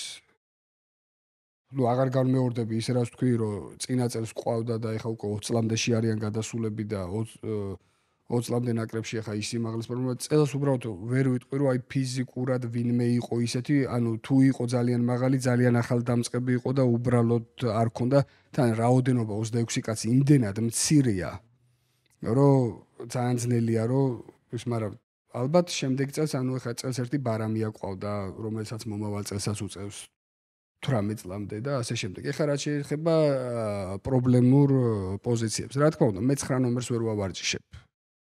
მე ვავარჯიშებ როგორ ნახავ ვარჯიშს რაღაცა ის მაგრამ ამას ჭირდება 9 ნომრის სპეციალური მწვრთნელი მაგაში გვეხმარება გიორგი ბეგაძე დიდი მადლობა მინდა გადაუხადო შალვა მამუკაშვილს იმიტომ რომ აა ძალიან დიდი გამოწვევა ქონდა ამ ფესტივალამდე მიხე მიშა სუჯაშვილს იმიტომ რომ დერეფანში კარგად ვერ გამოვიყურებოდი თან თან იქიდან გამომდინარე რომ სიმაღლეებიც არ ქონდა თან პლუს ამას ერთი ორი ნომერი ერთი კვაჭი ლეგიონერი იყო და ბევრი დრო არ გაუტარებია დიახ ჩვენთან. დაგვეხმარა ამაში შალვა მამუკაშვილი ორ ნომრებთან იმუშავა და ძალიან კარგი შედეგი გამოიღო ამ მოკლე დროში და რა თქმა უნდა მიშა სუჯაშვილის დაუღალავი შრომა იყო ამ დერეფნებში ერთი ნახო მიუხედავად იმისა რომ არ გვაქვს ჩვენ 100%-იანი მაჩვენებელი მაგრამ ვარჯიშებზე აქ ბევრად ცუდად იყო სიტუაცია და ძალიან ბევრი დრო დაუთმეს და რა მახსოვს სულ საღინაძე ხდებოდა თვითონ არის გამომცხადებელი და დერეფანი, ანუ ნახეთ, დერეფანში რატო ხდებოდა საღინაძე? დერეფანი არის ჩვენთან გამოცხადება იქიდან გამომდინარე ოპოზიცია როგორ გიდგას. იქიდან გამომდინარე, სადაც ეძლეოდა ახტა და მოიგო. კი, ძალიან კარგად. რო ამხტარ იყო ცუდად გამ მე მე განვიხილავდით. პირველ თამაში იყო ეგ პრობლემები სხვათა შორის, მაგრამ მე ერთად განვიხილეთ რაღაცებს. ასევე მინდა მიშანარიაშვილი, ჩვენ გქონდა ფუფუნება რამოდენიმე ვარჯიში. წარმოიდგინე ხა მიშანარიაშვილი რომ მოდის და ახალგაზრდა ბურჯებთან რომ მუშაობს რა და ყვაჭთან აგერ მამუკაშვილი ხო რომელიც ჯერ ისე მოქმედი სპორტი რა დონეზე და კი აი შეიძლება ითქვას რომ ალბათ მე რო ჩამეტარებინა 20 ვარჯიში სიტყვაზე ერთ ვარჯიში უფრო ეფექტური შედეგი მივიღეთ. და მე ამას არ უმალავ რა. ძალიან მადლიერი ვარ. ისევ ნარიაშვილის მამუკაშვილის აგერ გიორგი ბეგაძესი რომელიც ჩაერთვნენ და ჩვენ ესე ერთმანეთი გავაძლიერეთ რა. და მასეთი გზები ვცდილობ მერაბ კვირიკაშვილი ფეხის დარტყმაზე მუშაობს როცა დრო აქვს უბრალოდ ფორმატი იმდენად დიდია მათი ჩართულობა შავლომთან ან ეროვნულ ნაკრებთან, რომ ცოტა ძნელია დროები გამონახოთ, მაგრამ სურვილი თვითონ ძალიან დიდი აქვს და მე სულ ისე ვარ ხოლმე რა ცოტა მერიდება ეხა როცა ესეთი დაკავებული ხარ და თავისუფალი დრო გაქვს ოჯახთან გინდა ადამიანმა გაატარო ხა მე კარგად მოხსე გამოცდილი და გათოცნებიერებული და მერიდება ხოლმე მაგრამ იქიდან ისეთი ენთუზიაზმი მხდება და ისეთი ის რომ არ არა სამბუდა ჩვენ თონ ქსიამოვნებს რომ აი ძალიან დაგვეხმარა და ძალიან კარგი იქნება და ძალიან ناقოფიერი იქნება ესეთი თანამშრომლობა თუ გაგრძელდება. და მე ეს რაღაცა დროის მერე რა თქმა უნდა ეს უკვე ალბათ კარგი იქნება თუ ოფიციალური გახდება და ესე მარტო პირადი ურთიერთობები და თხოვნა კი არა ვთქვა დასაქმდებიან და ეს ისეთი გამოცდილებაა ფასდაუდებელი რომელიც ქართულ აქვს კიდე გააძლიეროს ეს ისეთი ცოდნა და რესურსია რომელიც კავშირმა აუცილებლად უნდა გამოიყენოს და შესაბამისი მიმართულება მიცეს. რა სხვა შემთხვევაში ну სხვაგან მიპოვიან გზა ასე ხა ისე მაგაზე ალბათ იფიქრებს კავშირი მე ამ შემთხვევაში არ ვარ გადაწყვეტილების მიმღები. თან ის არის ანუ ეს ხო უკვე ისეა გაზრდილი წვლილების რაოდენობა უკვე გუნდებში მაღალ დონეზე ყველაფერზე თავის სპეციალისტი ძალიან სპეციალური თავის წვლილი უფრო რაღაცა მენეჯერივით და რაღაც ანუ და ეს არიან კონკრეტული სპეციალისტი სპეციალისტი კონკრეტული და ძალიან კარგი აი ხო. მაგალითად ავიღოთ ყოჩებში თამაშობს ღურწკაია ხო, რომელსაც აშკარად დაეთყო ანტონთან მუშაობა რა, იმიტომ რომ ის რო სპეციფიური არის და სპეციფიურად ავარჯ პირველ ხაზში და ის უკვე სახეზია ის რომ აგერ უმაღლეს ლიგაში თამაშობს, დიდაძე, დიდაჩი თამაშობს, ეხლა ეგ ბიჭი ძალიან კარგი იყო. მაგ დროისთვის 18 წლამდეში ვერ ვიტყვი რომ ისეთი ძლიერი იყო, მაგრამ მიშა სუჯაშვილმა აღმოაჩინა ის პოტენციალი რომ ძალიან მზარდი იყო და ამიტომ მე ვიმუშავეთ, ვიმუშავეთ, მაგრამ 18 წლამდე დამთავრების შემდეგ ეს ისეთი კარგი არ იყო როგორც ეხლა არის. და პლუს აგერ 20 წლამდეში არის თორნიკე ბუბუტეიშვილი მუშაობს მაგასთან, მაგრამ ფაქტია რომ კლუბში მისი განვითარება კი არ შეჩერდა, პირიქით გაიზარდა, ანუ ანტონმა იმდენი მუშაობა და მწვრთნელებმა არ ვიცი ვიქტორი არის ვინ მუშაობს მაგათ, მაგრამ ანტონს იმიტომ უსო ხას რომ ეხა ესეთი გამოცდილება, ესეთი გამოცდილება როცა აქვს. რა თქმა უნდა, გაუზიარებს და აგერ ახალგაზრდა მორაგბისთვის, აგერ დღეს უკვე დიდი ათის სასტარტო შემადგენლობაშია, ძალიან რთული არის და თან ძალიან კარგად ართმევს თავს. ამიტომ ძალიან მნიშვნელოვანი არის რომ უკვე კლუბებში გაცდეს ესეთი სპეციფიური მწვრთნელები. ო ეთი აი კონკრეტული კითხვა ხება ცოტა აი ზოგად კი ლაპარაკი მაგრამ აი რაც რაშიც აშკავ თვალში მოვხდა ამ ტურნირზე აი რაც აი გამოკვეთილი იყო რომ განსაკუთრებით და შოტლანდიამ და საფრანგეთმა გაგვაწამეს მაგათაც ხალხურმა ამ სტრაფი გათამაშები რა. და ჩვენ მე მგონი ტურნირზე საერთოდ არ გაგვითამაშებია სტრაფი კი ბატონო. აი ანუ ეგ საიდან მოდის აი აი აი შეფუჭილობიდან თუ თუ ნაკრებშიც შევა რაღაც მითითება არის რომ აი აი ხო რამდენი ჯარი მავიღეთ უკან მაგ გათამაშებაზე ანუ ნახეთ მოდი ვთქვათ ესეთი რამე. შიდა ჩემპიონატში ადა ბელიგის ის რო ავიღოთ სტატისტიკა რო გავაკეთოთ ეგ არის ძალიან იშვიათად. ამიტომ ეს მოთამაშეები არ არიან შეჩვეული მაგათ ქონდა ვარჯიშებშიც ქონდა ჩართული და თამაშის წინაც ქონდა გამახვილებული სპეციალურად. დავსტვენდით ხელს ავწევდით 10 მეტრი უკან უნდა ჩასულიყვნენ მაგრამ ხო გეუბნებით მე იქ რო იღლები მე ძალიან ძნელია გადაიტანო. არა მაგას შეზღუდულები არ იყვნენ მაგრამ თვითონ მოთამაშეები ცდილობდნენ რომ დერეფანი ამ შემთხვევაში იყო ჩვენი ძლიერი მხარე და მოლი და ისევ და ისევ. მოდი ვთქვათ გულახდილად რომ შედეგზე ორიენტირებულები მაინც ვიყავით ჩვენ მიუხედავად იმისა რომ ფესტივალი ჩვენ ჩვენთვის პრიორიტეტი არის განვითარება და ფესტივალი იყო შედეგზე ვიყავით ორიენტირებული და სწორედ მაგიტომაც ვცვლიდით და როტაციას ვაკეთებდით თორე მაშინ ჯობდა რომ გაგეყოს სრულად თქვათ 70 წუთი თუ არის 35 წუთი 35 წუთი ჩვენ მასი არ ვაკეთებდით ანუ სამ ნაწილად თამაშობდა ახალი ენერგია ისვენებდა მე ისევ ახალი ენერგია შედიოდა რა და ეგ არის ნუ გათვლილი იყო და ჩვენ როცა გავნებიურდებით მე ესეთ ფესტივალებში მონაწილეობას და უკვე იმას რო ვეღარ იტყვი ხაი წარმოიდგინეთ რა მომხდარიყო რა პირველად ვიღებთ მონაწილეობას და დიდი სხვაობით წაგვიგო სამივე თამაში რა მოხდებოდა? აი როგორი გამოხმაურება იქნებოდა? ის რომ რასაც ითხოვთ, მოდი რა, ჯერ ცოტა გადავწყვეტ. ანგარიშებს გადახედეთ, ხო იძახიან რომ განვითარება არის არა და მთავარი, ხო? ეგრევე ნუ არ ხართ მზად ამისთვის და ისე და მაგიტო გვინდოდა ჩვენ რომ ეს გვეჩვენებინა და კარგად გამოვიდათ ბიჭებს, კარგად გამოვიდათ. ხო, ნახე შოტლანდია რომ ყველა თამაში წააგოს, არავინ არაფერს არ ეტყვის და ჩვენ გვეტყვია. მაგრამ ისევ კითხოს უდავრე, ბევრი არ მიმუშავია 9 ნომრის სტრაფ გათამაშებაზე.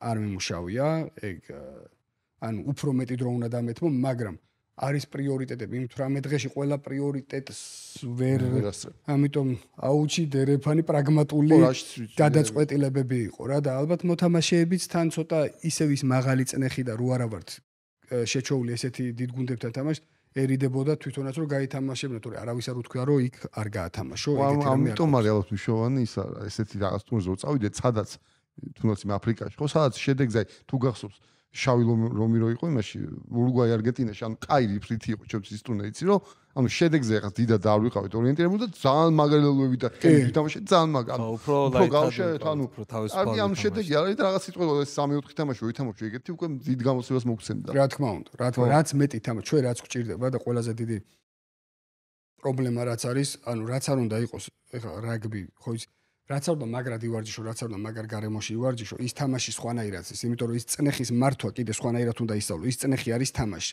რამდენი ვიცით ახლა ჩვენ კვაჭი მაგალითად, რომელიც ვარჯიშზე აქვს 100%-იანი მაჩვენებელი და თამაშზე გადის და არ აქვს კარგი მაჩვენებელი, იმიტომ თამაშს სხვა სპეციფიკაა. იქ უკვე ხო, რა თქმა უნდა. ამიტომ რაც უფრო მეტად გამოვიცდობით, რაც უფრო მეტი გვექნება ესეთი შესაძლებლობა, მე არ ვიცახი რომ ეხლა რო წავალ, თქვა, თუ მოგვეცა საშუალება, უეჭველი საფრანგეთის ომოუგებთ ან ინგლისს ან იმას არა.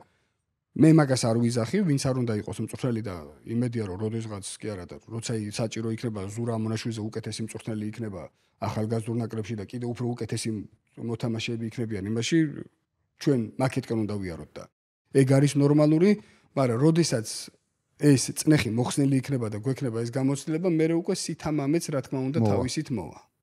ერთი კითხვა მაქვს, ანუ ამ ნაკრებს ეს ნაკრები განსაკუთრებით გამოიჩეოდა იმით, რომ იყო მოთამაშეები ბევრი კლუბიდან, ეს თქვა რაღაცა 2, 1, 3 კაცი. ხო, აი ეგ ეგ აუ როგორ მინდა მაგ საკითხშევე ხო. ხო, ან და ანუ ბოლო წლებში ხა მაინც რო გადავხედოთ ახლა აი მას შემდეგ განსაკუთრებით ახლა რაც ზოგადად უკვე სისტემიზებული ახალგაზრდა ნაკრებები და ბოლო 10 წელი ავიღოთ პირობითად, ხო? მაინც იყო რომ ლელო აია ეს ორი გუნდი იყო დომინანტი. აი რაჯო ძალიან გასაგები იყო რატომ? არა, მაგას არა, მაგას არა, მაგ ეგ კიდე უნდა ვთქვა რატომ? ხო, ხო და ა მე აი ისე შენ დაკვევით აი ზოგადად აი რაჯობია როცა სიტყვა ყავს პირობითად რომ აი რაღაც დომინირებს თქვა სამი გუნდი და არა. თუ აი სხვა სხვა ბირო არის არა. პირდაპირ გეუბნებით ჯერ პირველ რიგში რა უნდა ვთქვა რა. მიუხედავად იმისა ჩემი მეგობრები არიან ლელოს მწვრთნელები და ერთად უმუშაობთ. არასოდეს მე ლელოს გულშემატკივარი არ ყოფილი ვარ დღესვე აკადემია ლელომ რო ითამაშოს უგულშემატკივრებ აკადემიას. და გულწრფელი ვარ მაგაში და იციან. აა მაგრამ რა ხდება ეხა თავარი პრობლემა რა არის ჩვენ გვეშლება რა არის თავარი პრობლემა და რა არის ლელოს უპირატესობა და საიდან მოდის ეს უპირატესობა და ძალიან დიდი მადლობა რომ მომეცა მაგის საშუალება რომ ეხლა თქვა მე როგორ ფიქრობ და მე როგორ ხედავ ამას ლელო სტრუქტურიზებული კლუბია, კარგად მუშაობენ, ვერტიკალზე ძალიან კარგი მწვრთნელი ყავთ, უკვე სხვა კლუბებმაც დაიწყეს, მაგრამ ადრე იყო ესეთი რამე, რომ აი ლელოს პირობები აქვს, ლელოს ის აქვს. დღესდღეობით უკვე ინფრასტრუქტურა ძალიან ბევრ კლუბს აქვს დედაქალაქში. კი, რეგიონებშიც. კი, კი, კი. ქუთაისშიც, მაგრამ განსხვავებას რაში ვხედავ მე რა, ნახეთ. პირველი ერთი რომ როგორცვე მე არავის შეურაცხყოფას არ ვაყენებ და როგორცვე თქვა რა გარკვეული კლუბი თავარ ფოკუსირებას აკეთებს ხოლოდ დიდი 10-ის გუნდზე, მაგ შემთხვევაში და ის კარგი მწვრთნელები, ვინც კარგად მუშაობენ ვერტიკალზე აყავს ზემოთ, რა თქმა უნდა, იქ უნდა ჩანაცვლება მოხდეს და რაღაცა საჭირო არის იქ, რომ იქ ხარისხი არ დაეკარგოს, იმიტომ რომ ეს არის ძალიან მნიშვნელოვანი და თუ სასურველება მომეცემა მე ლეგიონერებზეც ვიტყვი, მე რე ჩემს, იმიტომ რომ ჩემი მოსაზრებები აქვს მაგასთან დაკავშირებით, ეხლა ლელოს დაუბრუნდეთ ისე. ლელო ლელოელები იყვნენ და მე ვიღებდი, სადაც ლელოს მოთამაშეები ჭარბობდნენ, მე ყველა სელექციაში ჩართული ვიყავი, როდესაც მე ვიყავი ნაკრებში და არასოდეს არ ყოფილა. ისე, რომ ჩემი აზრი გათვალისწინებული არ ყოფილიყოს რა. რა თქმა უნდა, არის მსჯელობები, შეიძლება ჩემი და მთავარი მწვრთნელის აზრი, ვთქვათ, არის ის არ დაემთხოს, მაგრამ პრიორიტეტია უნდა გადაწყვიტოს მთავარმა მწვრთნელმა, ისე როგორც ახლა მე უნდა გადავწყვიტო, ხო 18 წლამდე სრულიად ნორმალური ჯანსაღი პროცესი არის. ლელოში რა ხდება ეხა რა? ეხა რო ჩვენ კიდე რა იყო პრობლემა? ალი ეხა 18 წლამდეში. 18 წლამდე არის დაკომპლექტებული ალიგის ქვედა ასაკით და ბელიგის ზედა ასაკით. ქვედა ასაკი ხშირ შემთხვევაში ლელოში რახან ბევრი მოთამაშეა და ხარისხი არის ალიგის ზედა ასაკში იყვნენ ის მოთამაშეები ვინც წინა წელს ითამაშეს 18 წლამდე ეხა 20 წლამდე შეიძლება მაგალითად ხაინდრავა ბიჭები მოკლედ ორ ნომერზე მოკლედ და აი არჩვაძემ რომელიც ამდენილო გაიტანა თამაშის პრაქტიკა არ ქონდა ძალიან დიდი. მაგრამ რა ხდება? ხარისხიანი ვარჯიშებიდან გამომდინარე ისინი ერთმანეთში ისე იწვრთობიან რომ მოდის კონკურენციაში. არ ვიცი რატომ მაგრამ ნუ ყოველ შემთხვევაში ჩემი გაზ ჯობნის. ჯობნის. ჯობნის. და ეხლა მე რა ვქნა რომ რახან ლელოელია მოდი ახლა ზურა ამონაშვილზე რო არა თქვან არაფერი რომ ლელოელია ლელოელი დავტოვო და წავიყვანო მე სულ არ მაინტერესებს მის საიდან არის. მაგრამ თავარი რამე არის გასაკეთებელი. გადახედეთ სტატისტიკას ის ლელოში ვინც თამაშობს რა თქმა უნდა ლელოს ძალიან დიდი წვე მაგრამ ყველა არას არა ყველას არა აქვს ლელოში დაწყებული რაგბი. ხო სხვა გულიდან თავარი კითხვა რატომ მიდიან ლელოში? და რატომ არ მიდიან სხვა კლუბ? მათ შორის დედაქალაქის კლუბიდან რომლებსაც აქვთ კარგი ინფრასტრუქტურა რატომ მიდიან იმ კლუბიდან ლელოში თავარი კითხვა არის ეს რატომ ვერ უზრუნველყოფენ ისეთი ხარისხის ვარჯიშებს და მე დარწმუნებული ვარ რომ მაგაზე იფიქრებენ და ეს კიდე უკეთესა უკეთესი გახდება. თორე ჩემი როგორც წვრთნელის ნაკრებისული ჩემი რა თქმა უნდა მიზანი არის მიზანი როგორ ხა მე ვერ ვცლი უბრალოდ მაგრამ ჩემი სურვილი არის რომ რაც შეიძლება მეტი მოთამაშე იყოს სათამაშო პრაქტიკით. და ეს მოთამაშეები რომ სხვადასხვა კლუბებში გადანაწილებულები იყვნენ ჩემპიონატში შეიძლება უკეთესი მაჩვენებლები გქონდეს მაგრამ ეს მოთამაშის გადაწყვეტილებაა მე პატივს წემით გადაწყვეტილებას და გარკვეულწილად მესმის კიდევაც ალბათ სადაც ხედავენ უკეთეს ხარისხს მიდიან იქ. ამიტომ უნდა შეიქმნას კონკურენცია და ეს შეჯიბრი და კონკურენცია საერთოდ არ არის ცუდი. თუ ვიღაცა ეხა მე მაგალითად დედაქალაქში რომ მქონდეს ინფრასტრუქტურა და ჩვენ ეხა რეგიონში არ გვეღირსა ჩვენ საგარეჯოში ინფრასტრუქტურა და ვისარგებლებ შემთხვევით და იცით ეხა რაგბის კლუბი ვებხები იქით მე მაგალითად ჩემ რეგიონში რა მე რომ ინფრასტრუქტურა მქონდეს მე ყველანაირად ვეცდები რომ საუკეთესო ბავშვები მოვიდნენ ჩემთან. ანუ ისეთი ხარისხი, რა თქმა უნდა. ისეთი ხარისხი დავდო მე ვარჯიშების, რომ ჩემგან წასვლა არ უნდადეს. ამიტომ მე მგონი პრობლემები უფრო სხვა რამეშია, რომ ყველამ უნდა გააკეთოს და ისეთი ხარისხიანი ვარჯიში უნდა ჩაატაროს და ისეთი გარემო უნდა იყოს, არა მარტო მოედანზე, მოედნის გარეთაც. რომ სხვა კლუბში გადასვლა არ მოუნდეს და მარტივად დარეგულირდება ეს უკვე თან თითქმის თანაბარი პირობებია რა. მე რომ არა ყველას დიდარი გუნდი არანაირად. კი, აი ნახეთ მე რომ მქონდეს ინფრასტრუქტურა. ხო და ვარჯიშის ხარისხი ხო ჩემზეა დამოკიდებული მწვრთნელზე როგორ როგორი ხარისხის ვარჯიში ჩავატარებ. და ჩემგან რომ ვინმე წავიდეს, პირველ რიგში იმას კი არ დავიწყებ, რატო წავიდე. ჩემ თავს დაუსვავ კითხვას, რომ რა ვერ გავაკეთე, რატო მოუნდა იმ ბავშვს წასვლა. თუ ერთი და ორი წავიდა, თუ ერთი და ორი წავიდა, ესე იგი რაღაც ხო, ნუ იმ ბავშვს მოუნდა ვიღაცამ რაღაც, მაგრამ როდესაც უკვე კლუბს რო იცვლის, კლუბს რო იცვლის მოთამაშე და შეცვლილი კლუბიდან 10-დან 9 მიდის ლელოში და როდესაც იგივე პირობები შეუძლია ინფრასტრუქტურულად სხვა კლუბებში ნახოს და ის ირჩევს იმას რომ იცის რომ იქ დიდი კონკურენცია და შეიძლება ვერ მოხდეს და მიდის ლელოში მაინც ეს უკვე მე მგონი სხვა კლუბების პრობლემა უფრო არის ვიდრე ლელოსი. მე ამ მე ყოველ შემთხვევაში ჩემი გადასახედიდან ესე არის. როგორც ახლა ავიღო დიდი 10-ის თამაშები. ჩემი სუბიექტური აზრია, რა თქმა უნდა, მე ამ შემთხვევაში არ ვლაპარაკობ არა არც როგორც თავი, მე ვლაპარაკობ როგორც პირო ზურა ბამონაშვილი და არა როგორც ნაკრების მსროლი, როდესაც თუ ითამაშებს სიტყვაზე ისეთი კლუბი, სადაც სულ ქართველები არიან, მე არ არც რასიზმის, სადაც სულ ქართველები არიან და სადაც ბევრი ლეგიონერია, ობიექტური მაყურებელი ვიქნები ყოველთვის იმ კლუბისკენ. სადაც იქნება უფრო მეტი ქართველი და სადაც ეყოლება უფრო მეტი აღზრდილი თავისი კლუბიდან. ამიტომ რა არის ჩვენთვის გამარჯობა, რა არის ჩვენთვის შედეგი? მაგაზე უნდა დავფიქრდეთ. როგორ შეიძლება ხა რეგიონში მაგალითად მქონდეს იყოს ინფრასტრუქტურა, თქვა საგარეჯოში და ამ დროს უჩამოვიყვანო მე უცხოელები და ადგილობრივ რესურსზე არ გავაკეთო აქცენტი და რა მოვიგე პირველ ლიგა და ავედი უმაღლეს ლიგაში და რითი? ის კი არა რომ ზურა არის მაგარი მწვრთნელი. ის რომ უბრალოდ ფული მქონდა და ჩამოვიყვანე. მე ესე უყურებ რომ მე სხვანაირი მუშაობა მაინტერესებს მე სხვა პროცესი მაინტერესებს რომ ჩემი აღზრდილებით დავაბალანსო და მაგაში მე მგონი ერთ-ერთი მოწინავე კლუბი არის ლელო. აი ერთი ერთადერთი ლეგიონერებზე მოკლედ ოღონდ. ის რომ საბავშვოს სკოლაზე უნდა გაკეთდეს აქცენტი ეგ აბსოლუტურად მესმის და სოფლიოში ერთ-ერთი ყველაზე მაგარი სკოლა აქვს ლენსტერს ხო? ყოველ წელს მაგარ მორაგბეებს დიან ყოველწლიურად სულ სულ სულ მაგრამ მათაც ჩამოყავს 1 2 3 ლეგიონერი ან რაღაც რაოდენობის ლეგიონერები სადაც ჭირდებათ და რაღაცა კონკრეტული მიზნებით. ხო ალბათ ამას აქვს თავისი უპირატესობა. ან ლეგიონერების გამოყენება ხო შეიძლება ისე რომ ჩამოიყვანო და როგორ შეიძლება ბეგო ასწავლის 9 ნომერს კარგად რაღაცა 9 ნომრობას და ეს ახალი ახალგაზრდა 9 ნომერი აითვისებს ლეგიონერების გამოყენება ამ მიმართულებით ხო შეიძლება როგორ არ შეიძლება თქვენ წორთაზე გულისხმობთ თუ მოთამაშეზე მოთამაშე. მოთამაშეზე და მოთამაშე. კი ბატონო, მოთამაშე. პინარი რო ჩამოვიდეს. კი ბატონო, კი ბატონო. კი ბატონო, კი ბატონო. არა, ნახეთ. თუ სიტყვაზე აა არის იმის ცოლობისგან დავიწყებ რა. თუ სიტყვაზე მე დავწმუნდები იმაში, რომ ჩემ ადგილას სხვა რო იყოს უცხოელი, თქვა, საქართველოს ქართულ აქვს უფრო ჭირდება და ის ბევრად უფრო შედეგის მომტანია და მე თუ დავიწყებ რაღაცა ანუ მე თუ ჩემით წავალ ეს უკვე ქართული რაგბის დახმარებაა. და ვიტყვი რომ ეს კაცი უკეთესია და მოდი თხოვთ ამასთან მამუშავეთ, ამისგან მეც ვისწავლი რა. ან ვარჯიშებს დავესწრებ, ეს მე ამას ესე უყურებ რა. მოთამაშეს. მაგას თავისი ხიბლი აქვს. რესურსი ხარ ქართული რაგბის ჩემი განმოსახედი. მაგას თავისი ხიბლი აქვს ეს სამი ლეგი, მაგრამ უნდა იყოს ლიმიტირებული.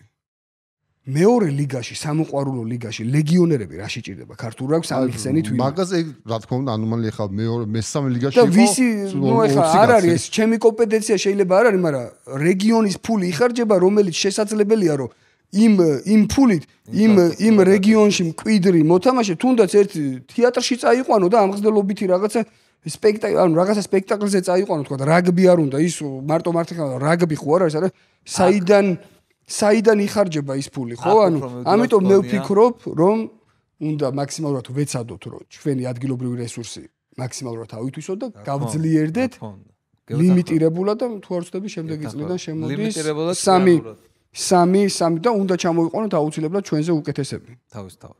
ზურა, მაინტერესებს, ანუ ჩვენ ნაკრებში უკვე ბაი ძალიან მომრავლდნენ ახალგაზრდა ნაკრებებში. ესე იგი, ესე იგი საფრანგეთში დაბადებულ გაზდილი უმეტესობა სხვათა შორის ძველი ბოჟღაუსების შვილები არის უმეტესობა.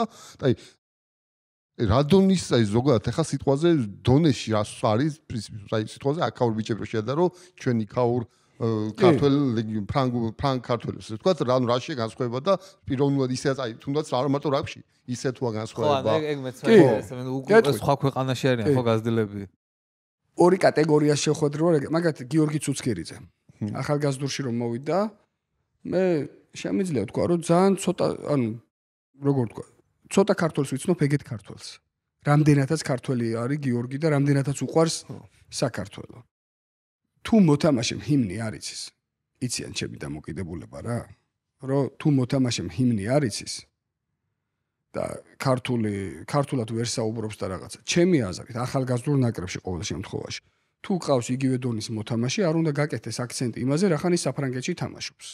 ან რაღაცა ფრანგული წარო, ან ვიღაცის შვილი არის, ან რაღაცა ეს. მაგას თავს გავაკეთებ, მაიკ ლაინას, ეხლა რო იტალიის ნაკრებს დაემართა ფთის მოთამაშე. აბა აი ისე ისე ჯახდა გარბისი ჯახდა რომ ისე იმღერაო ჰიმნი ვარ და ავსტრალია იტალიაში კი არის დაბადებული მაგრამ ნუ ხო ავსტრალიელი мама ყავს ინგლისში ცხოვრობდა თითქმის მთელი ცხოვრება და ისე იმღერაო აუ გავგიჟდიო რა ესეთმა პროფესიონალმა დიდმა მოთამაშემ. ძირითადად მე რომელ მოთამაშეებთანაც მქონია ეს შარშან იყო კიდე გიორგი ზაგანია იყო პირველ ხაზელი 18 წლამდეში.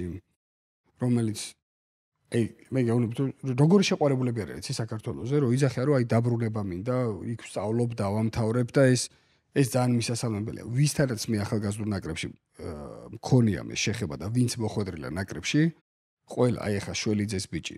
ხო საუბრობდით იქ კლუბის ამონათება რო იყოს სხვათა შორის გარკო რუსთავი ამოვანათე და მე ბრივი, იმიტომ რომ მამამისის ხა ფესუ საიდან არის ხო როგორ დრო არა და აუხსენით რა იქ ვისაუბრეთ რომ რო არ ყოფილიყო რუსთავის რაგბი და ის გოდერძი შეიძლება არ ყოფილიყო საერთოდ მორაგბე ხო სიტყვაზე ვიძახი და მე არ წასულიყო საფრანგეთში და გრამხელა წვლილი მოწვის კლუბს ხო. აი რო შველიძე მისი ძმა კიდე მანამდე 20 წლამდეში არაჩვეულებრივი პიროვნებები არიან აი ვერ განვასხვავებ ქართველისგან. გარდა რა თქმა უნდა, ცოტა აა კულტურა სხვანაირი აქვს, ფრანგული კულტურა, მაგას რა შეუძლია? ეგენი უფრო ახლო ჩვენ უფრო მტკივნეულად აღვიქვავთ რაღაცეებს. აი, რას დავაკვირდი, იცი? და მიჩოულები არიან მაქსილაღეს ეგენიც და მე არ ვიძახი რომ ჩვენ უფრო კარგად ვაკეთებ. ჩვენსას რო ეშლება, მაგრა განიცდის. იმას რო ეშლება, ეგრე არ განიცდის. რატო იცი ჩადებული აქვს რა იქ სამწუხარო კულტურა ისეთი არის რომ შეგეშალა არაუშ ჩვენ აი რაღაცა რო არის შეცდომებზე უფრო ვითრგუნებით ისინი უფრო ლაღები არიან ეგეთ რაღაცეებში რა აი თუნდაც არ წაუვიდა დერეფანი არის სტრესება რა. რაც ძალიან კარგი არის და დადებითი არის ჩემი აზრით. სათამაშო ხარისხის ხრივ ეხა ბიჭები არიან კლერმონიდან ყავდა ორი მოთამაშე, ხო? მე ვერ ვიტყვი სიტყვაზე, რომ იქიდან ჩამოსული, თქვათ, მოთამაშეები ძალიან გამორჩეულები იყვნენ, ან აღემატებოდნენ, მიუხედავად იმისა, რომ სიმბოლურში დაასახელეს ორივე, ну სხვადასხვა ნაკრებებიდან იცით ალბათ სიმბოლური კეთებოდა და ხო, ორივე ეკლერო, ორივე მოხდა ეკლერმოიდან, აი ვერ ვიტყვი მაგალითად, ორივე გადასარევი ადამიანი, გადასარევი სპორტსმენი არის, მაგრამ მე ვერ ვიტყვი, რომ აქ საქართველოსი აღზრდილ მორაგბისა და მათ შორის რაღაცა ძალიან დიდი სხვაობა არის და მომავალ წელს პირობითად გარანტირებული აქვს ორივე, თქვა 18 წლამდე მოხვდა თუ 19 წლამდე იქნება თუ 20 წლამდე რა. კონკურენტუნარიანი გარემო არის და ჩვენც მაგხრივ ვიზდებით. აშკარად წინსვლა არის და უსმინე მე რეპორტაჟს და ეს ყველაფერი მარტო აკადემიიდან და იმიდან ვერ მოვიდო და თუ არა კლუბების ჩართულობა და კლუბების უკეთესი გზისკენ სვლა რა და კიდე უფრო დიდი იმედი მაქვს რომ კიდე უფრო კარგი მომავალი იქნება და კიდე უფრო უფრო დავიხვეწებით კლუბური სისტემას და სანაკრებოც და ასე შემდეგ. მეც დიდი იმედი მაქვს. ერთი ციცი რა კითხვა მაქვს. დღეს წავიკითხე პოსტი ერთ-ერთი ნორსემპტონის მოთამაშე იძახდა მგონი რომ ისეთი სპორტიაო ეს რაგბიო, რომ მოსვლის თანავე გვეუბნებიან რომ რაგბს გარეთ რაღაცა უნდა კონდეს, იმიტომ რომ ნუ ზოგადად სპორტი ეგეთი როდის დაამთავრებ, არიციო რა და აი 18 წლამდელთა ასაკში რამდენად არის ეგ აზრებული რომ ყველა დიდი მორაგბე შეიძლება ვერ გამოვიდეს, შეიძლება ვიღაცა ტრამა აიკიდოს და მათ ზოგს სწავლა ჭირდება, ზოგს ხელობა უნდა შეისწავლოს, ზოგს რაღაცა შეიძლება ხატვარი გამოვიდეს. ეს ამასაკში როგორ არის? ან ჩვენთან რა მიდგომა არის ამ ხრე? რა თქმა უნდა, ნუ ეხა როგორ გითხრათ მე ვერ ვერევი მათ, მაგრამ მშობლებთან რამდენჯერ რამცხენ როცა მქონია შეხვედრა და ის ყოველთვის მაგაზე ის არის, რომ თვითონ რაგბშიც ეხმარება. როდესაც მარტო ერთი ინტერესი არ არის და სხვა ინტერესიც არის და სხვანაირად კიდე სხვა რამეზე არის გონება გადართული და ვითარდება და რაღაცა სხვა ინფორმაციების მიღება ხდება, ხო და გააზრება. ის იგივე ანალიტიკა არის. რა თქმა უნდა, ყველა სპორტსმენს ურჩევ, რომ გარდა რაგბისა, თარმით უმეტეს კონტაქტური სპორტია, რაგბი და კონტაქტურ სპორტში კიდე უფრო დიდი ალბათობა იმისა, რომ ის რაც დაგეგმილი გაქვს შენი კარიერა, ისე ვერ განვითარდეს. რა თქმა უნდა, უნდა გქონდეს შენ ზურგს უნდა გიმაგრებდეს, შენი განათლება, შენი განსწავლულობა არ არის აუცილებელი, თქვა იური იუსტი იყო, შეიძლება რაღაცა ხელობისკენ კონდეს მიდრეკილება, რომელიც ნებისმიერ შემთხვევაში საჭირო არის, ხო? მე ყველა ახალგაზრდას მოუწოდებ, რომ რაგბის გარდა თქვათ ძალიან დიდი ყურადღება და უნდა გადაანაწილონ განათლება და რაგბი აუცილებლად არ უნდა ჩვენც მაქსიმალურად ვცდილობთ, რომ ისე დავგეგმოთ პერიოდიზაცია, რომ კონფლიქტში არ მოვიდეს ერთმანეთთან. აი, გადავიდეთ მაშინ 20 წამდენებზე. კი ბატონო. იმდენი ვისაუბრე მე მგონი კითხვა არ დაგასმევი. აი ეს ბოლო კითხვა მინდა მარტო დავსვა და გადავიდეთ. ერთი ის ვიცი რომ აი ცოტა გარემო მინდა აი ფესტივალს გარეთ გარემოზე მინდა საუბარი. იტალიაში აი ორგანიზება, გარემო, როგორი სავარჯიშო პირობები იყო და ერთადერთი რაც ვიცი რომ სპაგეტის ჭამა მოწყინდა ძალიან ბიჭებსო და გემრიელი იყო რა. მანდაც შეიძლება რაღაცების კარგი. ისეთი სპაგეტი იყო, რომ ცუდი არ იყო. მაგრამ მარტო სპაგეტი არ ყოფილა. სხვათა შორის ორგანიზება იყო ძალიან უმაღლეს დონეზე, ყვების ხრივაც. მარტო სპაგეტი არ ყოფილა, ყოველთვის იყო არჩევანი. ორნაირი ხორცი იყო, ქართველებს გიყვარს ახლა ხორცი, იცით, უბრალოდ რაც არ უნდა კარგ პირობებში იყო, ხო იცი, უფრო და უფრო უკეთესი გინდა, მაგრამ რაგბი ევროპას თუ შევადარებთ, ну მე უთხარი რომ თქვენ ვიღაცები უნდა იყოთ რაგბი ევროპაზე ნამყოფი რომ მე ეს დააფასოთ შედარება რა თქმა უნდა ზოგი და აა ნახოთ რა პოლიტიკა იქნება რა. მაგაზე ჯერ ხა არ მინდა წინასწარ საუბარი თუ იქნება რამე ალტერნატიული შეიძლება რომ შეიძლება შესაძლებელია მე ამას არ ვადასტურებ რომ რაგბი ევროპაზე 17 წლამდე წავიდეს თქვა და უკვე 6 ერზე უფრო მომზადებული შეხვდეთ უფრო ახლო დრო ხო ეგ არის ეს ამ ამის გადაწყვეტ ანუ გადაწყვეტ მიმღები მე არ ვარ ხოლო და ეს პოლიტიკა ბევრ ამეზეა დამოკიდებული რომ რა პოლიტიკა გატარდება. ერთ-ერთი ვერსია არის უბრალოდ ორგანიზება იყო ძალიან მაგარი და კიდე რა ვიგრძენი ამ ფესტივალზე. რა მე დაუსვი და ჩვენი წვრთნელთა ჯგუფი ვიჯექით და საღამოს და საუბრობთ და ეხა ჩვენ რო ვიყოთ არგენტინა რა და ესეთი ფასვეი მქონდეს და გავიდე და წავაგო საფრანგეთთან 50 ქულა გაუკეთეს 40 ქულაზე მეტ 57 დასრულდა თუ არ ვცდები. და ამ ხელა სხვაობა იყოს ჩვენ ქართველები რამ ტკივნეულად აღვიქავდით ალბათ ამას რა და აი ჩემთვის ალბათ განგაშის არის და რაღაც აი ეგ გარემო არის რა განვითარების გარემო არის. აი სტრესი არის. თითქმის არ არის რა და ყველასაა გაცნობიერებული როგორ ანაირად მეორე დღეს ისე დაიმთხო რომ ერთად ანუ სხვა ზებრეს ბაზაზე ვიყავით და სამი მოედანი იყო და ერთ ხარეს ჩვენ ვარჯიშობდით მეორე დღეს არა ერთი დღის გამოტოვებით იმიტომ მეორე დღე აღდგენა იყო და ირლანდია ვარჯიშობდა ჩვენ გოზე და ეს მწვრთნელები ჩაულებრი როგორ იღიმოდნენ რაღაცა ის და მან დავფიქრე და კიდევ ერთხელ გადავაფასე რომ ნამიტანი ზედმეტი ხო არ მომდის მე კიდე. სხვათა შორის აი იმ პოდკასტში იყო ჩვენი რიჩარდ კოქრილი იყო იმ რა ქვია იმ პოდკასტს. ინგლისურ პოდკასტი. რაგბი პოდი. ხო, იყო ამასეთი ორი კვირის წინ და მან ერთი რაღაც ახსენა, ანუ უკვე იქ წნეხი არის უკვე პროფესიულ სპორტში სადაც ფულია, უკვე იქ არის წნეხი შედეგზე. კი. ახლა მანდ უკვე ახლა ფესტივალში ცდილობენ რომ პროფესიულ კი. სპორტში რა თქმა უნდა ხო ვერ არ გამო მაგის გარეშე. იქ თხოვენ უკვე და მაგის აზარტი იმ უკვე მოპელეზე ეგ ლაპარაკა რა. მე როგორ მინდა იცი რომ აი საქართველოსში იყოს ბოდიში შეგაწყვეტინე. საქართველოსში იყოს ეგეთი ცხოვრება რა, ეხა იქ რასაც უყურებდი რა, მოთამაშეებს შობლები იყვნენ სამი. აი გარემო იყო ისეთი რომ მე თამაშის მე ეს შობლები, მწვრთნელები, მოთამაშეები ერთად შეკრებილი და მე ძალიან მინდა რომ საქართველოსიც იყოს ესეთი სოციალური ფონი და ისეთი შესაძლებლობები ქონდეს ხალხს რომ აი ესე თავის შვილებს წაყვნენ და მართლა აი ეს ფესტივალის და აი ეს ზეიმის განცდა რა არის ჩვენ ჩვენმა ხალხმაც განიცადოს იმიტომ რომ ძალიან ჯერ მარტო საყურებლად არის ძალიან კარგი და როცა შენ თვითონ შეიგრძნობ მაგას კიდე რა ჯობია თუ ცოტა ადრე დაიწერება, შემდეგ წელს ვეცდები წამოსვლას და გულშემატკივრობას. ეგ ის პრობლემა გახორმე ცოტა გვიანი. მე ვნახე, ვნახე რა საფრანგეთში თქვენი პოდკასტი ვნახე, გადაცემა იყო, ვნახე როგორ ხომაგობდით ჩვენ ნაკრებს და რა ჯობია მაგას. ძალიან მაგარ რამეს აკეთებთ. კარგი, ნუ 20-მდელებზე გადავიდეთ, მაშინ რა- უფრო რა თქმა უნდა, უფრო მოკლედ. შარშან იყო ისტორიული შედეგი, რამის, რა ვიცი, ხა სასწაულოთა და ნახევარფინალში, რა ვიცი, ხო 2 წუთი იყო იქ დარჩენილი თუ 5. მანდაც გამოცდილება დაგოკლა. ხო. ლამი ზელანდიაც გავაგორეთ. აუ ზელანდია, მე ზელანდია დედასკეპცე, აი მე ისეთი ჩვენ ისეთი კამბექი და ისეთი უკვე შეშინებულები იყო ზელანდია, მეთქი მოგებულია ეს თამაში თქო და აი იქ რო არ მოგცა ჯარიმა რაღაცა ბლოგზე და რაღაცა, თორე იქ რო ჯარიმა მოეცა, შევა მოგვეგო რა. ხო. შეიძლება. შეიძლება თქო ეს თეორიულია, მაგრამ ანუ რაღაც დათგუნული ყოფთ, კაი. მაგ თამაში ისე დაბრუნდით, რომ ხო, ნუ ხო.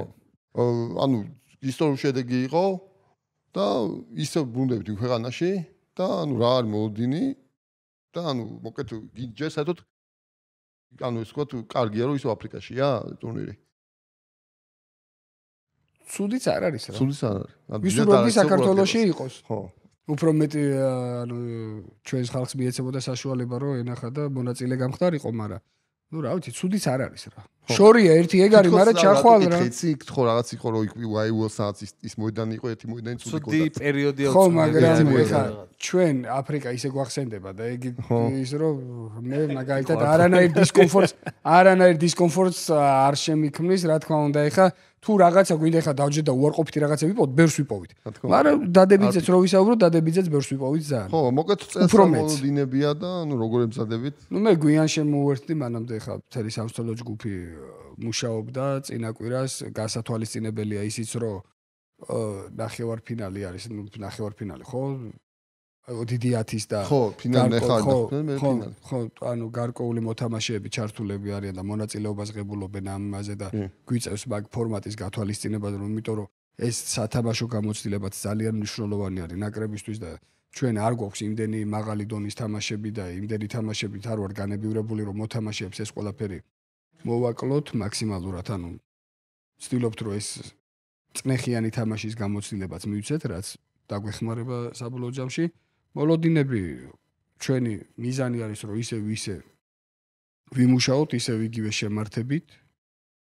ანუ შემად სამწოლო ჯგუფი იგი ლადო კილასონია არის მთავარი მწვრთნელი მაქსიმალურად ვეცდებით რომ ისე რაც დრო გვაქვს ოპტიმალურად გამოვიყენოთ ისე ვის გამოწვევები არის რომ ვერ ხერხდება ჯერჯერობით სრული ნაკრების ერთად შეკრება იმიტომ რომ მოგეხსენებათ მოკენალები ლეგიონერები კი ლეგიონერები ყავს ძალიან ბევრი და არ გვაქვს მაგის უფლება რომ ჩვენ როცა მოვითხოვთ მან იმ წუთას გამუშა რომ კლუბის კეთილნებაზე არის ეს ყველაფერი დამოკიდებული და მერწმუნეთ რომ იმ კლუბებს ნაკლებად აინტერესებს ქართული რაგბი რამდენად განვითარდება მის ინტერესში არის რომ იმ მოთამაშის მოთამაშე მაქსიმალურად გამოწუროს ესე ვთქვა და მაქსიმალური სარგებელი მიიღოს იმ მოთამაშეზე კლუბის გადასახედი და ნაკრების გადასახედი ცოტა წინააღმდეგობაში მოდის და კონფლიქტში მოდის ერთმანეთთან მაგრამ მაგის დარეგულირებას ვცდილობთ რა თქმა უნდა ეხლა მოსამზადებელი ეტაპი არის აა, აღონთ არ ვიცი გამოცხადებულია თუ არა ჯერ კიდე მოსალოდნელი არის რომ ტესტ მაჩები. ტესტ მაჩი ხო. გქონდეს და დაველოდოთ მაგ მოვლენებს,